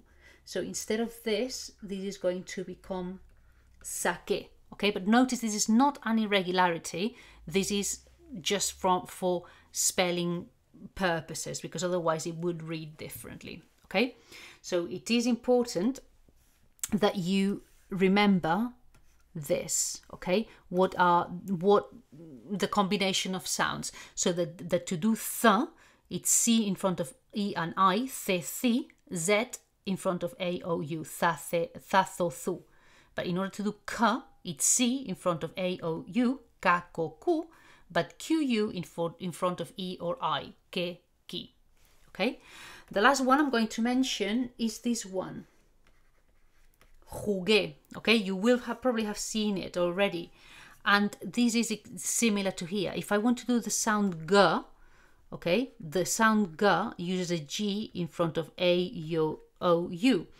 But if I want to say ge and gi, I need chi, u. Okay, so again, oh, I'm running out low on battery. Um, again, do uh, remember these sort of sound combinations so that you basically so that you you can spell things properly and also that you don't get too disconcerted when you see that suddenly a q or a gu has appeared out of nowhere. Okay? This happens especially in the preterite it happens in other tenses but especially in the preterite so future tenses in general are pretty straightforward much more straightforward than present uh, forms or past forms which there are plenty of. And we're going to look here at three especially okay future it's, it's going to be important in all sorts of topics okay? You could you could be asked about most of the topics you may want to you may you may have to write about. You will probably want to add something on the future. We're going to focus especially on the topic of um, of school and studies and education which is what which we, we're doing today. But of course whatever you do um, here you can transfer to any other topic. So the three future tenses we're going to look at of, of forms are going to be the near future, okay, near future, the simple future, and the conditional. Okay, near future, simple future, and conditional. And for those of you who are going like, what's that? The near future is the equivalent of, for example, saying in English, I am going to study. Okay, so this would be near future. Simple future would be the equivalent of saying I will study. So remember, in Spanish, we don't have such a word as will. Um, we will just do that with endings. And the conditional will be the equivalent of I would study. Okay, I would study. So again, in Spanish, we haven't got this word would. Uh, the same would apply to won't or wouldn't. Okay we will go we will have a look at how we would do these expressions won't and wouldn't. Now conditional there's question marks over whether it can be considered to be a future tense. Strictly speaking it's not. It's conditional. It's not something that's going to happen. It's something that would happen if all the circumstances happened. But in terms of GCSE bunching, it tends to be sort of lumped into the future tenses. And when, for example, they tell you uh, use three tenses, they will be uh, expecting you to use present, a form of the past, and a form of the future, amongst which the conditional will count as a future. Okay, so that's why I'm putting it with the future tenses. Now, before we start looking at future tenses, something very important that we must never forget when we are using future tenses, which is time expressions to talk about the future. Okay, it's very good to use the future tense, but use expressions as well because it's going to make it sound much, much better. So, what expressions could I use? Okay, to start with, I could use things like en el futuro, en el futuro, in the future. Or I could use something like más más adelante, later on, más adelante. If I'm talking about this topic, mm, school or college, I could talk about, for example, el año próximo, next year, or what's the same, el próximo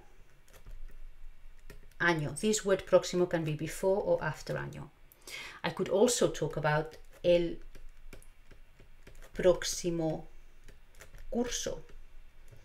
El próximo curso, next academic year. Curso is the word for ac academic year. I could also talk about después, después del verano, after the summer. Okay, and then I could use some other beautiful expressions which contain uh, what's it called? Present subjunctive, which I would really, especially those of you aiming for higher uh, papers or aiming, aiming for, you know, for, for higher grades, do use some of these expressions okay? If, if you happen to be writing about uh, about um, school or, or further education do use some of the following. Nice expressions would be for example cuando cuando termine mis exámenes cuando termine mis exámenes, when I finish my exams. And this word termine is using present subjunctive. Another one, cuando, cuando haga bachillerato. Cuando haga bachillerato, when I do sixth form, haga present subjunctive. Cuando vaya, cuando vaya a la universidad. When I go to university. Vaya, present subjunctive. Cuando tenga. Cuando tenga 18 años. When I am 18. Okay, tenga, present subjunctive of tener, to have. Or finally, cuando sea mayor when I am older, when I'm a grown up sort of thing. Okay, sea is the present subjunctive of ser. Now, please don't think that now every time you use cuando, you're going to have to use present subjunctive. That's not the case. You only use present subjunctive when that cuando, that when, is something in the future. Okay, so if you notice, all these events are going to happen in the future. Okay, so that's why we use present subjunctive. Other time expressions, if you are sort of talking outside of the of the topic of of school, other time expressions that you could use in the future could be, for example, using similar to this el año próximo or el próximo año, we could say la próxima, la próxima semana, next week, o el próximo, el próximo mes. But we could also use things like, for example, dentro de tres años, in three years' time, o dentro de tres meses, in three months' time, o dentro de tres días, in three days' time. So do remember this expression dentro de plus the time, which means in however many days, months, years, weeks, time. Okay, don't forget this expression because it's really, really good. So let's now look properly at the tenses and let's start with this one here, which is the near near future. Okay, and let's remember it's equivalent of saying something like I am going to study, for example. Okay, so it tends to be used for things that are pretty certain that you are going to do. Okay, that's that's what the the, the point of the voy a um, tends to be. And how does it work? So look, we've got here voy, vas, va, vamos, vais, van. And what is this? This is the present of the verb ir, which means to go. Okay, so it's the present of ir.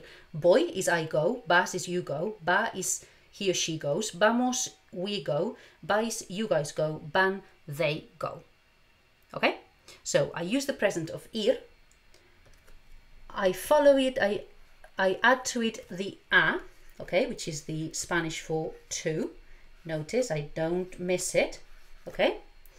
And then after that, I use the infinitive, infinitive of any verb, okay, of whatever verb I want to use. So in this case, I want to say I'm going to study.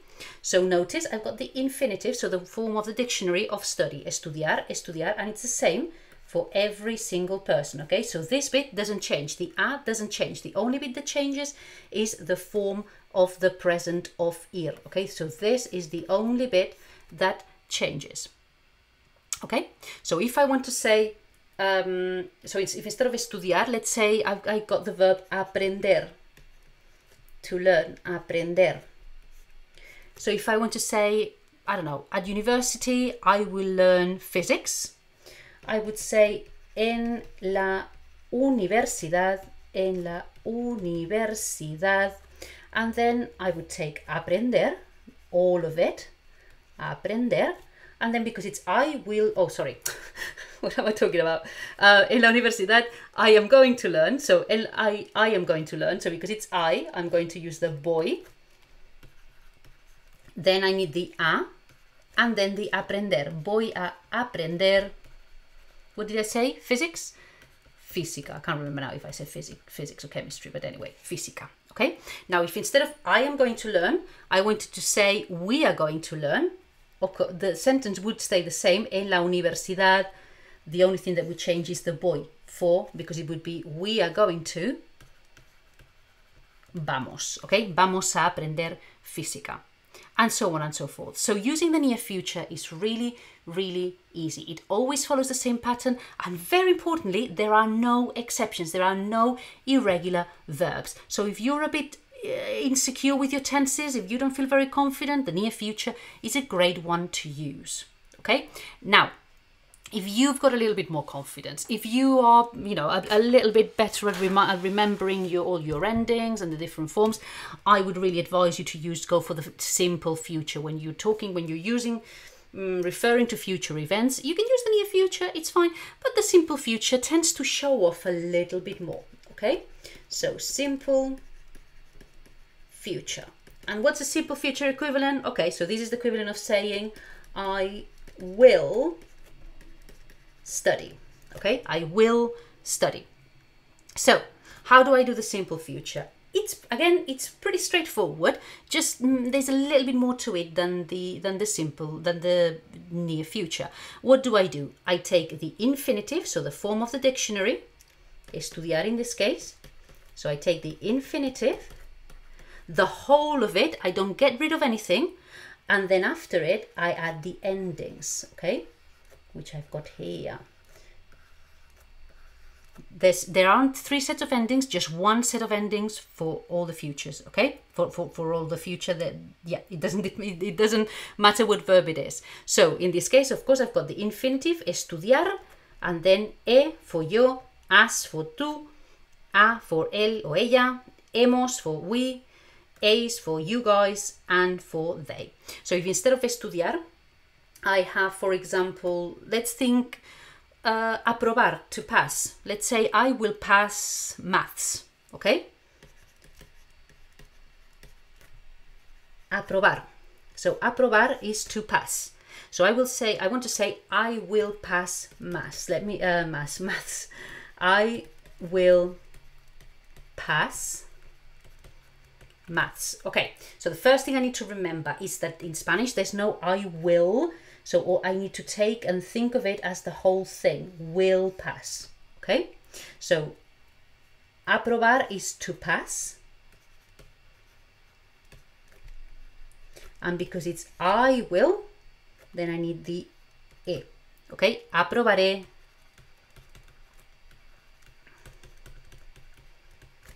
Matemáticas. If instead of to pass, we had the verb suspender, to fail. Let's say I wanted to say they will fail art. Okay, they will fail art. Okay, so they will fail. I need the verb suspender. And then I need the they will, which is the an. And then art, dibujo. Suspenderán dibujo. Okay, so every single time infinitive and then whatever ending I did depending on who will do the action. If I wouldn't, if I wanted to use a negative, a future, so it like here, if I instead of I will pass maths, I wanted to say I won't pass maths all I need to do is write a no before aprobaré. And in that case, of course, the A would need to be a little one. So no aprobaré matemáticas. That's all I need. Okay. So I don't need any funny doings because it's won't. Okay. Same thing here. If I wanted to say they will not fail art. So here it says they will fail art. If I wanted to say they will not fail art, all I need to do is write the no in front. And of course the S would become a small one because it's not starting a sentence okay? So don't be misled don't be don't panic when you see a won't all you need to do like in any other tense just put a no in front and do the the the um, the future normally okay?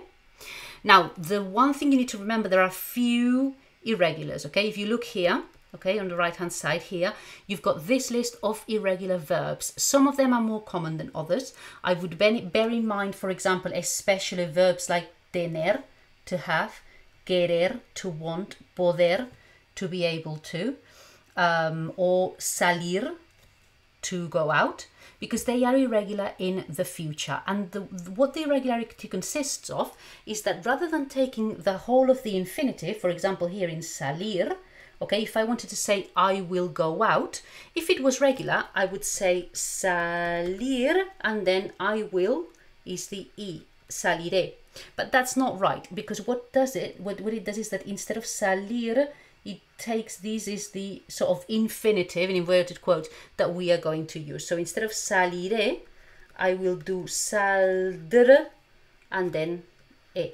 So with irregular verbs, the endings are still regular. What's irregular is that instead of taking the whole of the infinitive, and that's it. You take a sort of a funny infinitive okay? You take this form. So for example in the verb tener to have if i want to say we will have i wouldn't say teneremos. I would say i would take this tender and then i add the emos tendremos okay? And then let's have a look at the conditional. So at the conditional which is the I would, and in this case, for example, I would study. So how does the conditional work? Dead easy as well. Very similar to the future, simple future. And it's that, again, I take the whole of the infinitive. So I've got the form of the dictionary, infinitive. I haven't dropped anything.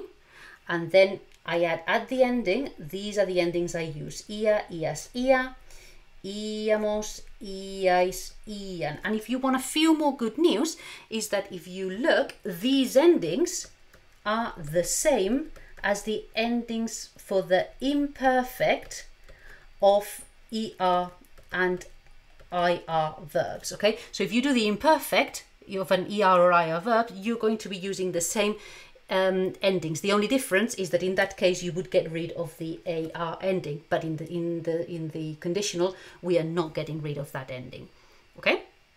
So estudiaría is I would study, estudiarías, you would study, estudiaría, he or she would study, estudiaríamos, we would study, estudiaríais, you guys would study, estudiarían, they would study. Okay?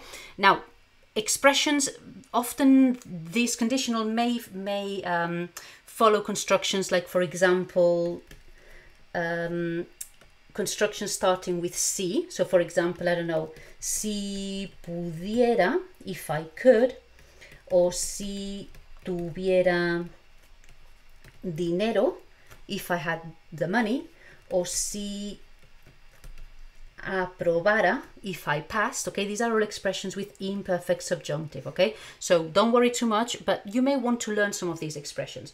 So let's say si pudiera. Uh, so if I could, I would study science. Si pudiera, estudiaría, estudiaría ciencias. Now, if instead of I would study, I wanted to say, um, mm, I would, si pudiera, um, oh, let's say if I could, I would go to university. Okay, if I could, I would go to university. Okay, so if I could, si pudiera, I would go to university. How would I say this? I would go to uni. Okay, so all I need to do is think, okay, I would go. What verb is this? Go. Go is, to go is ir, okay? And then I need the I would, I would. So the I would is the ia ending. Iría a la universidad. And that's all we need, okay? If instead of I would go, is would you want to say we would go? So again, I would say ir, to go, and then íamos, iríamos, a la universidad, that would be we would go to university. In the same way as with the um, simple future, again, if I wanted to say I wouldn't go, okay, all I need to do is think again. Okay, so I wouldn't go is I would go in the negative. So I would go is iría. So in the negative is no iría. So all I need to do to do the uh, negative of the conditional is put a no before. No estudiaría ciencias, I wouldn't study sciences. No iría a la universidad, I wouldn't go to university. No iríamos a la universidad, we wouldn't go to university. And it's easy peasy. Okay? Now the last thing I want to say about this is that the conditional has exactly the same irregular verbs as the future and it, they work exactly in the same way. Okay? So in the case of, for, for, example, I gave you the example of salir, that doesn't do in the future, doesn't do saliré, but saldré, if I want to say I will go out. In this case, if I wanted to say I would go out, I would do exactly the same. So I wouldn't say salir ia, but saldré and then ia. Okay, that would, that's I would go out. If I want to say we would go out, that would be saldr and then íamos. Okay, if I wanted to say, I don't know, they would have, I would do tender and then because it's they, it would be ian. Okay, and so on and so forth. So really useful to know near future, simple future, conditional, and to get using them. Okay, so modal verbs, verbos modales. What are these? Okay, these verbs help us say things like um, what I or someone should do, wants to do, um, has to do, needs to do. Okay, so it's modal verbs. Yes, I, I, I, things like um, to have to, must, need, um, things like shall or should. Okay, these are these are all modal verbs, and they are really important because they they help us add a little bit of um, different different um, sort of nuances to what we say okay? Allow us not to say you know all make it really factual. This is what it is. This is what i do. This is where i go. This is where i went. No it's like this is what i have to do. This is what i'm going no not sorry not i'm going to do. This is what i need to do. This is what i should do. This is what i'd like to do okay? Um so firstly they add interest Okay, they make our writing a bit better. They also allow us allow us to, for example, give advice. It's the sort of thing that um, when we earlier when we were talking about um, healthy living, we were saying things like, for example, um, yeah, tengo tengo que comer. I don't know. Tengo que comer. If I want to say tengo que comer más verdura, okay? This tengo que is the I have to. So in a way I'm using a modal okay? But also we can use this to give advice. So I can say tienes tienes que comer más verdura or más um, legumbres for example. Okay? I could also say instead of tienes que I could also use debes debes comer okay? We'll see them in a second the other thing is that if you look at this at this example, for example, okay, tienes que, or if I use the debes, debes comer, okay, or if I wanted to say um, necesito, necesito, um, I don't know, perder peso, I need to lose weight, or quiero ser voluntario, o voluntaria. Quiero ser voluntaria. Okay, here I'm using modal verbs to start with. And then notice what happens here. Quiero comer, quiero perder, quiero ser. These modal verbs, whether they're in the present, past, future, they are followed, okay? They're followed followed by infinitive. Okay, they're followed, you not infinitive, inf infinitive they're followed by a verb in the infinitive form. So this means that even if I'm using, even if the verb I'm going to be using after that um, modal verb is going to be a very irregular verb, it doesn't matter because I'm just going to be using it in the infinitive. So, you know, verbs that you may we may be a bit bit scared of sometimes are verbs like tener or ser or estar or ir or ver Okay, some verbs can be tend to be irregular in many ways. Okay, if I just say, you know, if instead of saying, for example, um, I see this, I say I need to see this or I want to see this. It doesn't matter then whether ver is regular or irregular because what I'm going to be using is the infinitive, okay, after the the conjugated verb. So yes, okay, you have to learn the um, the modal verb and the conjugation of the modal verb. But once you know that, which to be honest, they are very common verbs, um, what comes after is very easy. Okay, so the verbs we're going to see are these here. So here we've got them in their present form. So this tener, tener, and I've put the que, okay? Que is not part of the verb. This is to, to have to.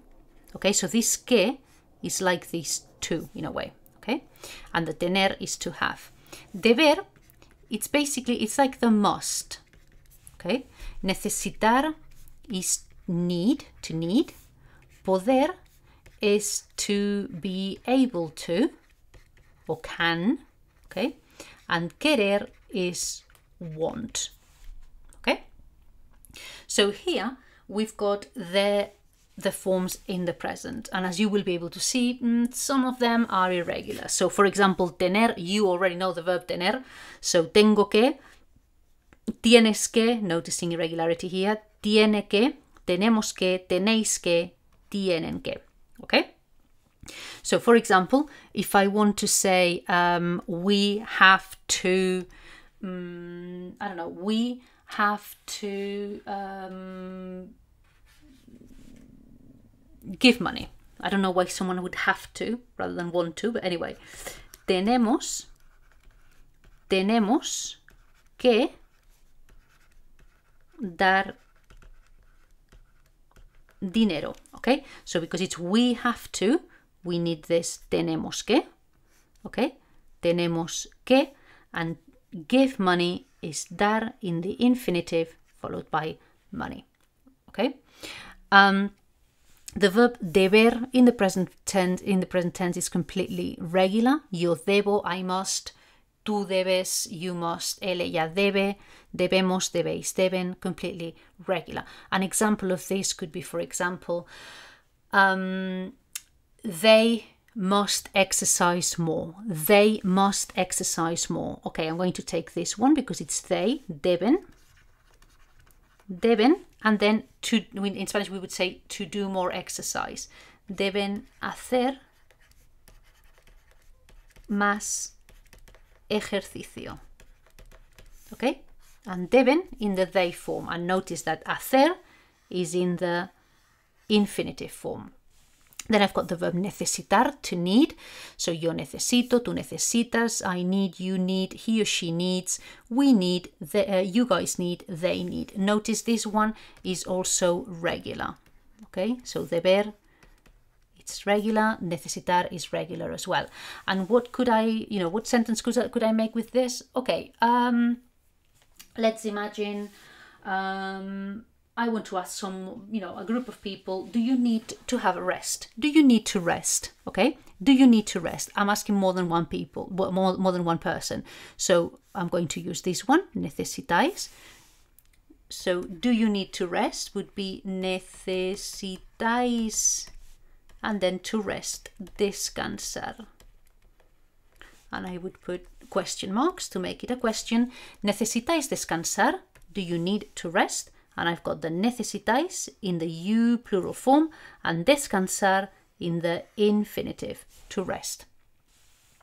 We've also got poder to be able to. This one is irregular.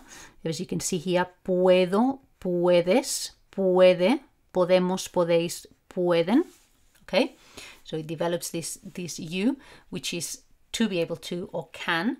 So I could say, I could say, for example, um, let's say I can I can help at a old people's home. So I'm volunteering and I'm going to say I can help at an old people's home. So I'm going to use this one and I would say puedo puedo ayudar en una residencia de ancianos. Okay? And we've got here puedo, I can, and then I've got the ayudar, to help, in the infinitive. And then I've got the verb querer, to want, also irregular, so it does quiero, quieres, quiere, so I want, you want, he wants, so she wants. Queremos, queréis, quieren, so queremos is we want, queréis, you guys want, quieren, they want.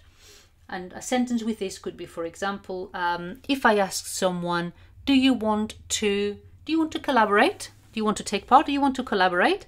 Okay, so if I ask to one single person, I would use this one for "Do you want? ¿Quieres? ¿Quieres?" And to collaborate, colaborar. ¿Quieres colaborar? Do you want to take part? And I've got the quieres in the you form, you singular, and colaborar in the infinitive. Okay, so if you can see, um, some of them are irregular, so you'll have to memorize those, uh, but what comes after is infinitive, so it's easy peasy. Okay? So, um, also, of course, if you notice we can also, as I said before, you can also use this to give advice or to tell people what they have to do. So, for example, if you, we use especially, these forms, the you form, tienes que, debes, necesitas, puedes, as, as a suggestion, you could, you can. Um, quieres, no, you can't tell someone to want something, but you can say for uh, to someone um, like here, like instead of they must do more exercise, I could say tienes que hacer más ejercicio. You must exercise more. Or, um, or for example, um, you have to, um, if I want to say, for example, you have to lose weight.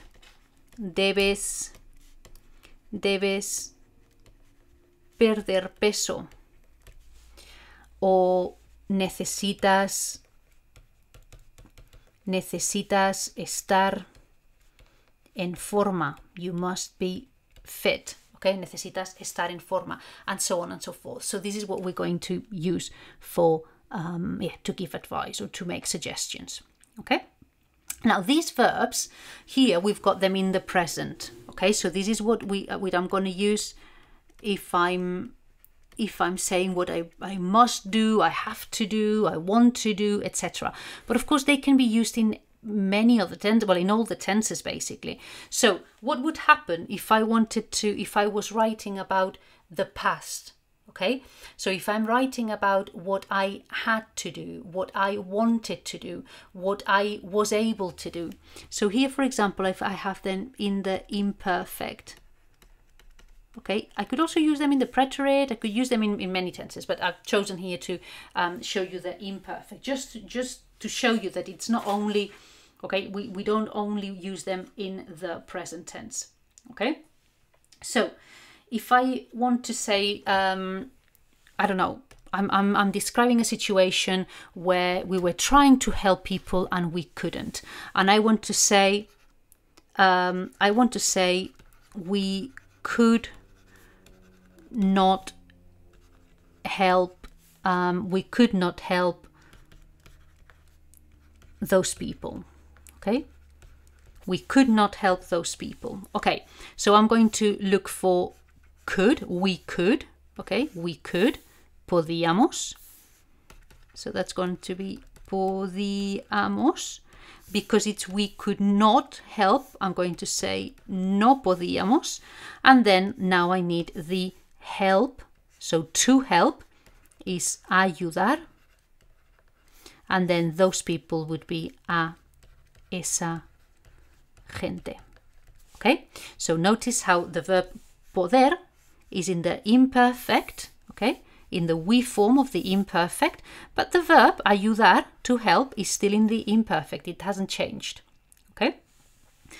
I could say instead of we couldn't help those people, I could say, for example, um, they wanted they wanted to launch a campaign. They wanted to launch a campaign. So I need the they wanted, which is going to be this form, querían, they wanted. And then I need the to launch, which is lanzar a, um, a campaign, una campaña. Okay, and notice that when we are doing the imperfect, in the imperfect, all of these verbs are regular. Okay, there are no irregularities amongst these verbs in the imperfect, so that is good news.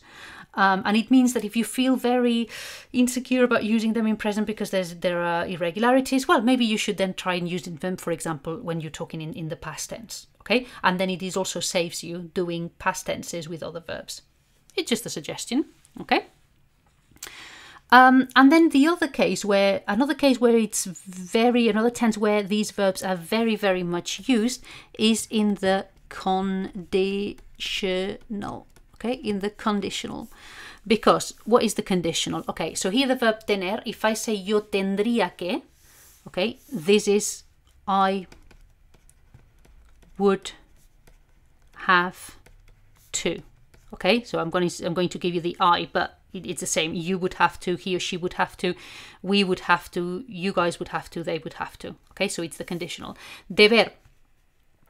Uh, debería is I should. So I should, you should, he or she should, we should, you, uh, you guys should, they should. Okay, so think of how many times you say things like, oh, you should, or I should. Okay, so there you go. This is the conditional of deber, debería, and notice this, this is completely regular. Um, use it for, to say should. Okay, necesitar. So necesitaría is I would need to. Poder I so podría I would be able to or I could okay it's either I could or I would be able to and querer querría notice this one is irregular because it's it's querría no querería querría and tendría is also irregular yeah so querría is I would want to so let me again give you, give you a few examples of some sentences. Okay, so um, these, of course, you, you, it comes especially handy when you're writing about things like volunteering or changing the world or what would people need to do. Okay, so what should we do? Okay, what if I said we should raise money? We we should raise money. Okay, so we should. It's going to be here, deber. We should, deberíamos. Deberíamos, verb deber in conditional. And now all I need is to raise, recaudar, and money, dinero. And notice this again is in the infinitive. Okay. Another another thing I could say, for example, they they could organize a campaign. They could organize a campaign. They could organize a campaign. So uh, they could is going to be here with poder. So they is going to be this one. So they could is podrían. And then all I need to put is organize to organize a campaign. To organize is organizar and a campaign, una campaña. Okay? So please notice how useful this is going to be when it comes to yeah precisely if you have to write about things like the environment uh, volunteering things like um, homelessness any topic where you need to sort of put forward, suggest what people could do, should do, need to do, uh, what you would like to do. Okay, so all of that is going to be really, really, really. So the present subjunctive is something that you know often some people just by hearing the word that sends shivers down their spine, but it shouldn't be. Okay, I hope that you see in in this um, in this explanation. I hope that you see that it's probably not as difficult as as some people, you know, make it out to be. So, present subjunctive, what is it? The, the fact that it's called subjunctive, it's called subjunctive because it's a mode, okay? It's it's a way of presenting an action. So anything in the subjunctive, it means that it's not real. It hasn't happened yet. It may or may not happen. Okay? What do I mean by this? Okay, we've got here you, you may be familiar with this. These are the endings of the present indicative. Okay, the present indicative is what you may know as the normal present. Present indicative, so you should be pretty familiar with these endings. So we've got the verb hablar, so an example of a verb, comer, an example of er verb, vivir, an example of ir verb. We've got this, um, these examples here, and these are the three different types of endings for the three different types of regular verbs. And by the way, I'm just going to focus on regular verbs, okay? I'm not going to go into irregulars. You go into that um, if you do A levels at the moment. Let's just focus on, on, on regular. So these are the present indicative endings. Now I've got here underneath, I've got the endings or the what these three verbs would look like in the present subjunctive. Okay, so these would be what they would look like in the present subjunctive. Now, let's focus. Let's let's ignore for a second the I form. Okay, let's ignore for a second the I form. And let's focus on the others. Okay, so if we look here, so I'm going to look at these endings. So these are the endings of the AR verbs in the present indicative. And I've got here the endings of the, I'm just trying to find the color that stands out. The endings of the ER verbs in the normal present, in the present indicative. Okay, now look at the endings of the AR verbs in the present subjunctive and look at the endings of the ER verbs and the IR verbs in the present in the present subjunctive. What's happened here? Very easy. The AR verb ending of the present indicative have become the endings of the IR and ER verbs. And the endings for the ER verbs in the present indicative have become the endings for the AR verbs in the present subjunctive. That um, plus we've got, because all the endings are have got this e, hables, hable, hable, hablemos, habléis, hablen.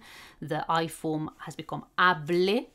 And here the same has happened with the A, okay? So comas, coma, coma, comamos, the I is coma, and vivas, viva, viva, vivamos, the I form is viva.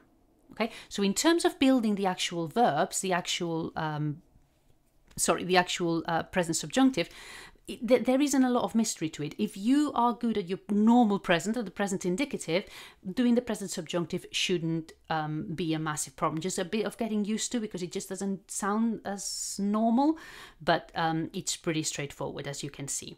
Okay, building it absolutely, um, absolutely no problem. Let me give you an example. Okay, so for example, um, let's say that I want to say. Um, I hope I hope you I don't know, for example, I hope you eat your dinner. Okay? I hope you eat your dinner. That's what I want to say and in Spanish that would have a present subjunctive, okay? I hope that you eat your dinner. Okay, I hope that you will eat your dinner. Okay, so the expression I hope that as you will know, is espero que.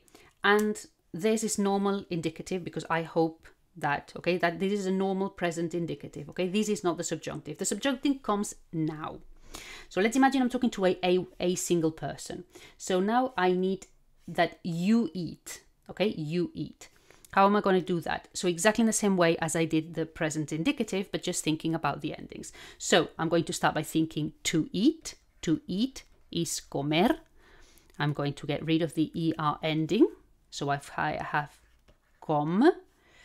Okay, and now because it's you eat, and as I said, I'm talking to a person, I need to go here. Uh, sorry, it's comer, er. Uh, so I need to go here and I need this ending. Okay, so it's comas your dinner, tu cena. So exactly in the same way as you would have done the present indicative, you do the present subjunctive just with different endings. Okay, so just that, that's all it is. So let's have a look at cases, okay, at some of the cases where you're going to be using or you should be using present subjunctive. And by the way, present subjunctive is really good to use if you are aiming for higher papers if you're doing foundation if you understand it and you're good at it and you can maybe learn a few a few expressions and use it that's great. But if you struggle with it don't worry about it okay? It's not you're not going to be marked down because you're not using present subjunctive okay? So there are some cases where we're going to use present subjunctive and these are some of them Okay, I've put here some expressions. So one is when you use expressions of wishing, advising, and requesting. Okay, what are these? These are, for example, the example I've shown you with espero que. Yo, um, uh, sorry, that's not right. Um, yeah, well, it, it, it is. Yeah, let, let, let's let's say yeah, that, that's fine. Wishing um is also quiero que. I want that. Okay, so for example, if I said I want um I want them to recycle. Okay, let's let's continue with the topic of environment. I want them to recycle. Okay, in Spanish, I'm also going to be saying I want that they recycle. Okay, this is what I'm saying in Spanish. So, what do I need to do here? Okay, so first I want the I, I have the I want that, which is this here. So quiero que. And now I need to find the they recycle, but it's the that they recycle, okay? It's the subjunctive. So I need to think, okay, so recycle to recycle, to recycle, to, oh, to recycle is reciclar. So it's an AR ending. I need the they form. So the they form of an AR verb is going to have the EN ending. So that they recycle will be que recicle. This is the stem, and now I need the EN. Que reciclen. Okay? Quiero que reciclen. Yeah? And there are other expressions like te aconsejo que, I advise you to, or ojalá que. So, for example, here, if, if, instead of I want them to recycle, I said I advise you to recycle, that would be te aconsejo que, and because I'm talking to a person, in that case would be and I'm talking to one single person, so I need the es ending. Te aconsejo que recicles. Okay? Te aconsejo que recicles los plásticos, for example. Okay? So three uh, good expressions to be followed by subjunctive. Another uh, type of expressions, another group of expressions is expressions of hope, joy, sorrow, anger, and, and emotions. Okay, so here we've got siento que, I'm sorry that, temo que, I fear that, estoy contento de que o contenta de que, I am happy that, o espero que. Okay, um, so for example, um, what could I say? I could say, um, mm, right.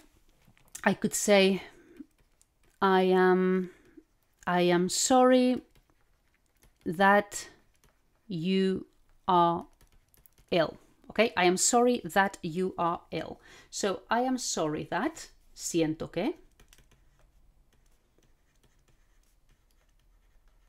Okay, you are ill. Okay, to be ill is estar. Okay, so to be is estar. I'm not sure you can see this color. Estar is to be.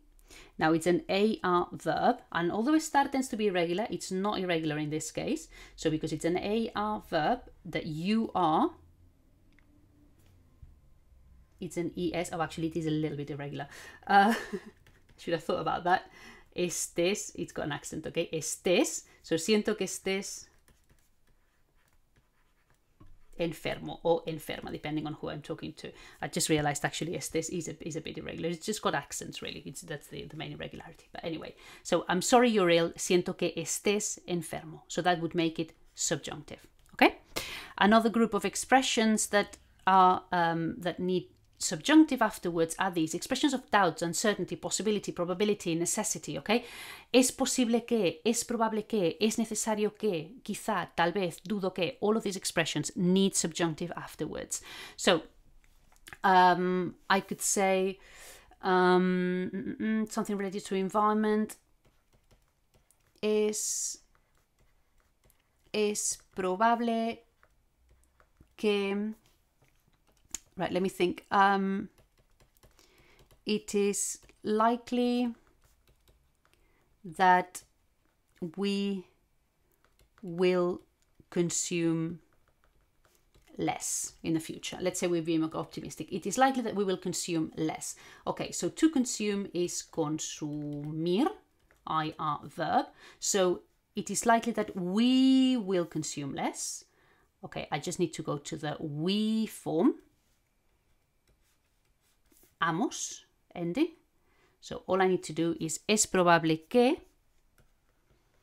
consum and then I add the we ending. Consumamos menos.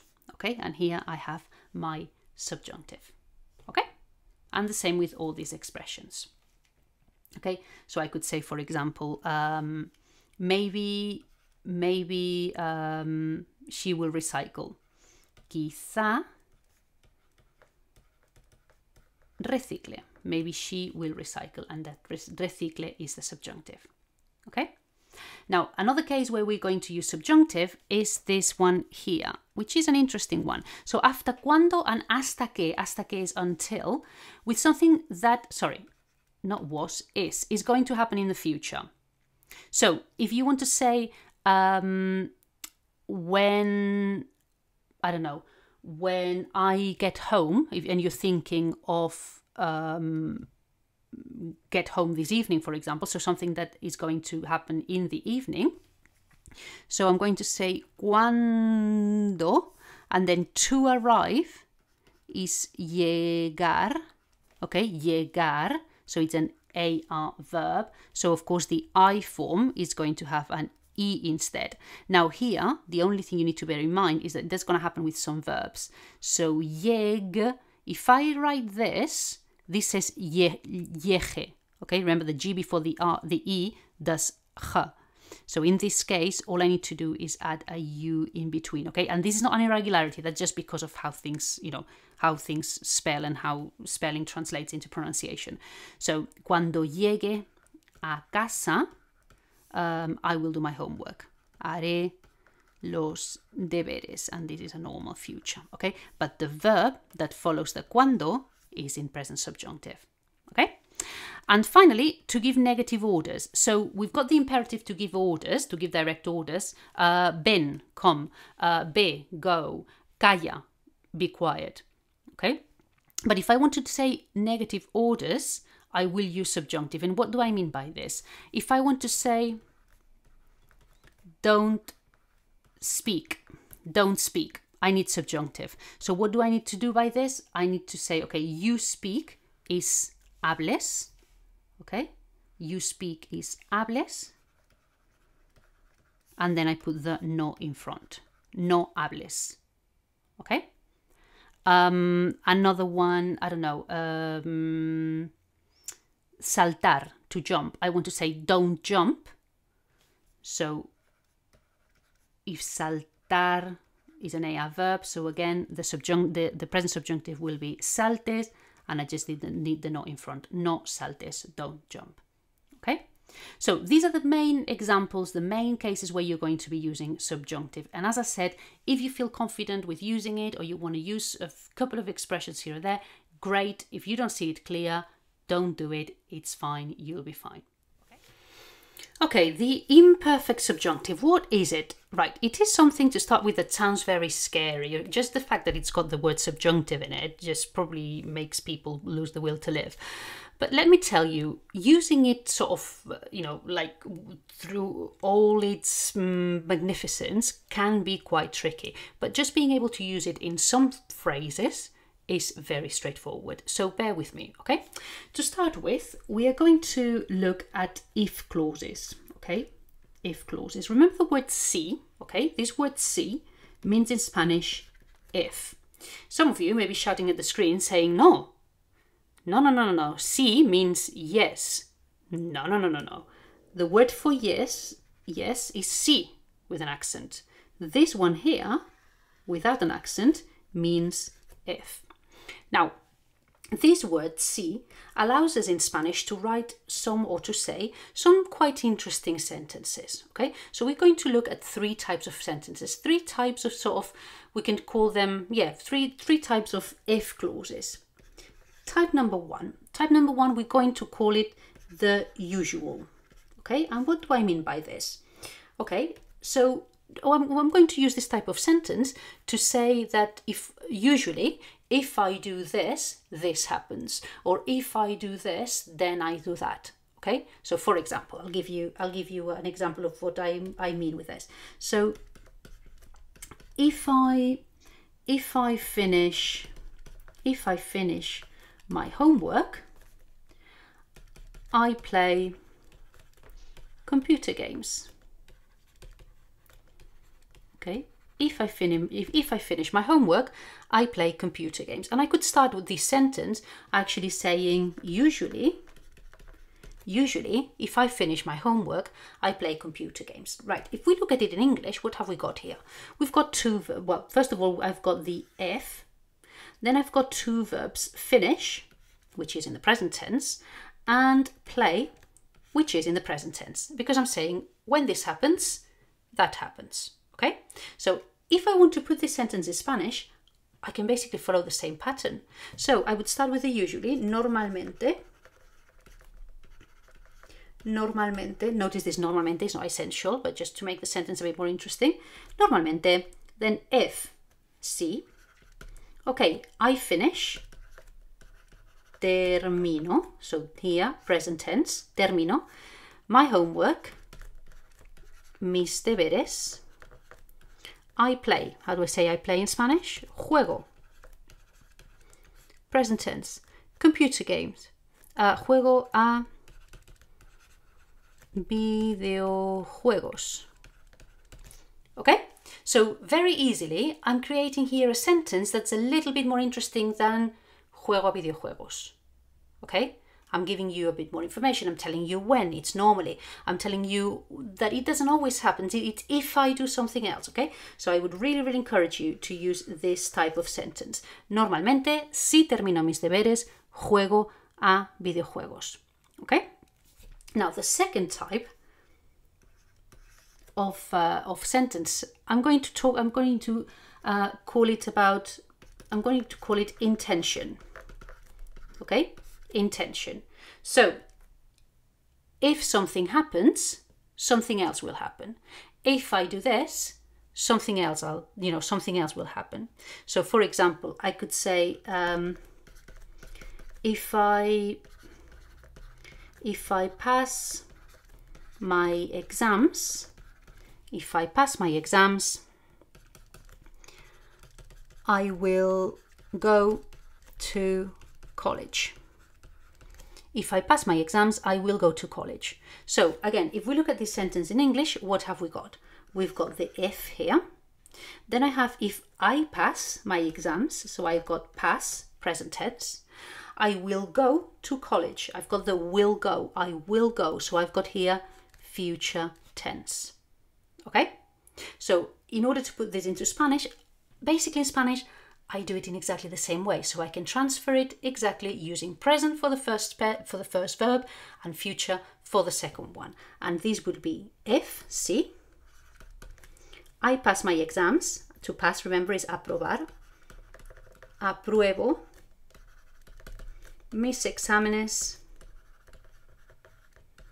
So I've got apruebo in the present in the yeah present tense. I will go to college. So to go is ir, I will go, iré. So iré al instituto. Okay, I will iré al instituto. I will go to college. And then iré, this is future tense. So we've got present, present for something that happens often or something that happens normally. Present, future for something that will happen if someone else if something else happens okay? And now here is where the imperfect subjunctive comes into play okay? So notice these two sentences really you've got no reason not to use these two okay? Now this third one can be a little bit trickier but with if you learn a few a few sort of set phrases you can actually use it very easily. So um so number three would be how could we call it? Um, we could call it the um, hypothesis. Let's call it hypothesis. Okay, hypothesis. I hope you, you you know what the hypothesis is. And what do I mean by this? It's if something happened, something else would happen. Okay? So, if I passed if I passed my exams I would work oh I would let's say I yeah I would work as a lawyer okay if I passed my exams, I would work as a lawyer. And what have you got here? Again, if we look at the English, I've got the if here. Then I have past, which is a past tense. And then actually I'll I'll do it in a different color because I've been using different colors so far. So past is past tense. And I would work, as you should know by now, I would work is the conditional. Okay, so I've got past and conditional. In Spanish, we do this very similarly, but instead of using the, like the preterite or the imperfect in Spanish, we use the imperfect subjunctive. So this here is going to be imperfect subjunctive. And this sentence would be si aprobara mis exámenes Okay, so this aprobara is in imperfect subjunctive, and then I would work as a lawyer. All we need is the conditional of the word of the verb to work, trabajar. So trabajaría um, de abogado or de abogada. Okay, so we've got here the conditional. Okay, conditional trabajaría and imperfect subjunctive after the si. Okay, so I hope you can see why knowing a few phrases with the imperfect subjunctive could be useful because it opens very often it opens the door to using a lot of conditional. Okay? Because it sets the scene for when would i sorry when would i do this if this happened? Okay so I would really encourage you to use it. Now I'm going to give you a few phrases which are going to be the ones that you would need the most often. And then I will explain you how the, the, the imperfect subjunctive is built for those of you who want to know where it comes from and who may want to use other verbs or other forms of the verb, okay? But for many of you, knowing a few of the set phrases for now um, will be enough. So what things could you need? Okay, We've got the si aprobara, if I pass, which would be useful for the for the topic of, of uh, especially study. But also I've got things like, for, for example, si pudiera. Oh, sorry. Si pudiera, if I could. Si pudiera. Um, si, si tuviera. Just ignore this here. Uh, si tuviera, if I had for example, si tuviera mucho dinero, if I had a lot of money, okay? Uh, with si pudiera, I could say si pudiera mm, vivir en el extranjero, if I could live abroad, okay? So, for example, si pudiera vivir en el extranjero, um, I don't know, viviría in Marruecos. If I could live abroad, I would live in Morocco, for example. Si tuviera mucho dinero, uh, compraría una moto nueva. I would buy a new motorbike. Okay, so notice I've got the si pudiera, if I could, si tuviera, if I had. I could use, for example, si fuera, if I was. So, for example, si fuera, si fuera más, um, I don't know, si fuera más extrovertida, ¿ok? Si fuera más extrovertida, um, estudiaría teatro if I was more extrovert, more, more of an extrovert, I would study drama, okay?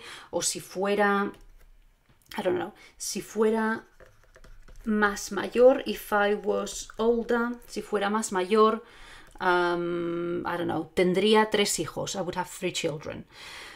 Okay? But si fuera, this fuera is if I was or if I were.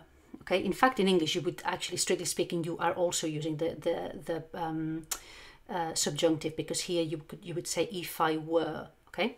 Which would be subjunctive. Um, si estuviera, si estuviera, this is the imperfect subjunctive of the other verb to be, of the verb estar. So, for example, si estuviera, um, si estuviera menos cansada, um, iría a la discoteca. If I was less tired, if I were less tired, I would go to the I would go clubbing. Okay, so this estuviera if I was. And for example, another one, si viviera, if I left, si viviera, I don't know, si viviera con mi novio, si viviera con mi novio, I don't know, um, cocinaría cada día. If I lived with my boyfriend, I would cook every day. Okay? Something like that. So notice these, okay? These are probably si pudiera, si tuviera, si fuera, si estuviera, si viviera, are five imperfect subjunctives that are worth learning. Okay? Now, for those of you who are interested to know where this imperfect subjunctive comes from, how we build it, okay, I'm going to quickly explain it, okay? so, the first thing we do is that we take the third person, the third person plural of the preterite, okay, of the verb that we want to conjugate. So let's have a look. Let's imagine we've got this, okay? So I've got vivir, the third person, which is to live, the third person plural is vivieron, yeah? Vivieron is the third person plural of the preterite. And what I'm going to do is um, I'm going to get rid of the eron, okay? So I, I'm left with the vivi, okay? And in its place, I'm going to add era for the yo, eras for the tú, for the tú, sorry, era for the he or she, éramos for the we, erais for the uh, you guys, and eran for the they, okay? So if I left would be si viviera. If you left, si vivieras. If he or she left, would be si viviera. So notice the first and the third person singular are always the are the same. Okay, so these that I've said I've said here, you could also use for the third person singular. If we left, si viviéramos. If you left, si vivierais and if they left, si vivieran. Okay? So this is what you need to do to make the present the, the imperfect subjunctive. Okay, just one last thing in case you do encounter this is that the present subjunctive has got two sets of endings for some reason, which we use with any verb. Okay, so any verb would have theoretically two present subjunctives, two sorry, two imperfect subjunctives. One with this ending, and another one with the endings ese, uh, eses, ese, esemos, eseis esen. Okay, so if I left could be si viviera, it could also be si viviese. If you left could be si vivieras or si vivieses. Okay, um, and so on and so forth. But I would really strongly advise you to just stick to one. It's not it's not a mistake to mix them up, but just stick to one so that you don't have to just be be aware that this is also imperfect subjunctive in case you encounter it in some written text or in some speaking test. Text. But um, in terms of using it, I would just probably stick to this one. Or these one up to you but just stick to one in terms of using it and then um, you don't have two sets of ending to to jumble okay? Um, and yeah and that's basically it. That's basically what the imperfect subjunctive is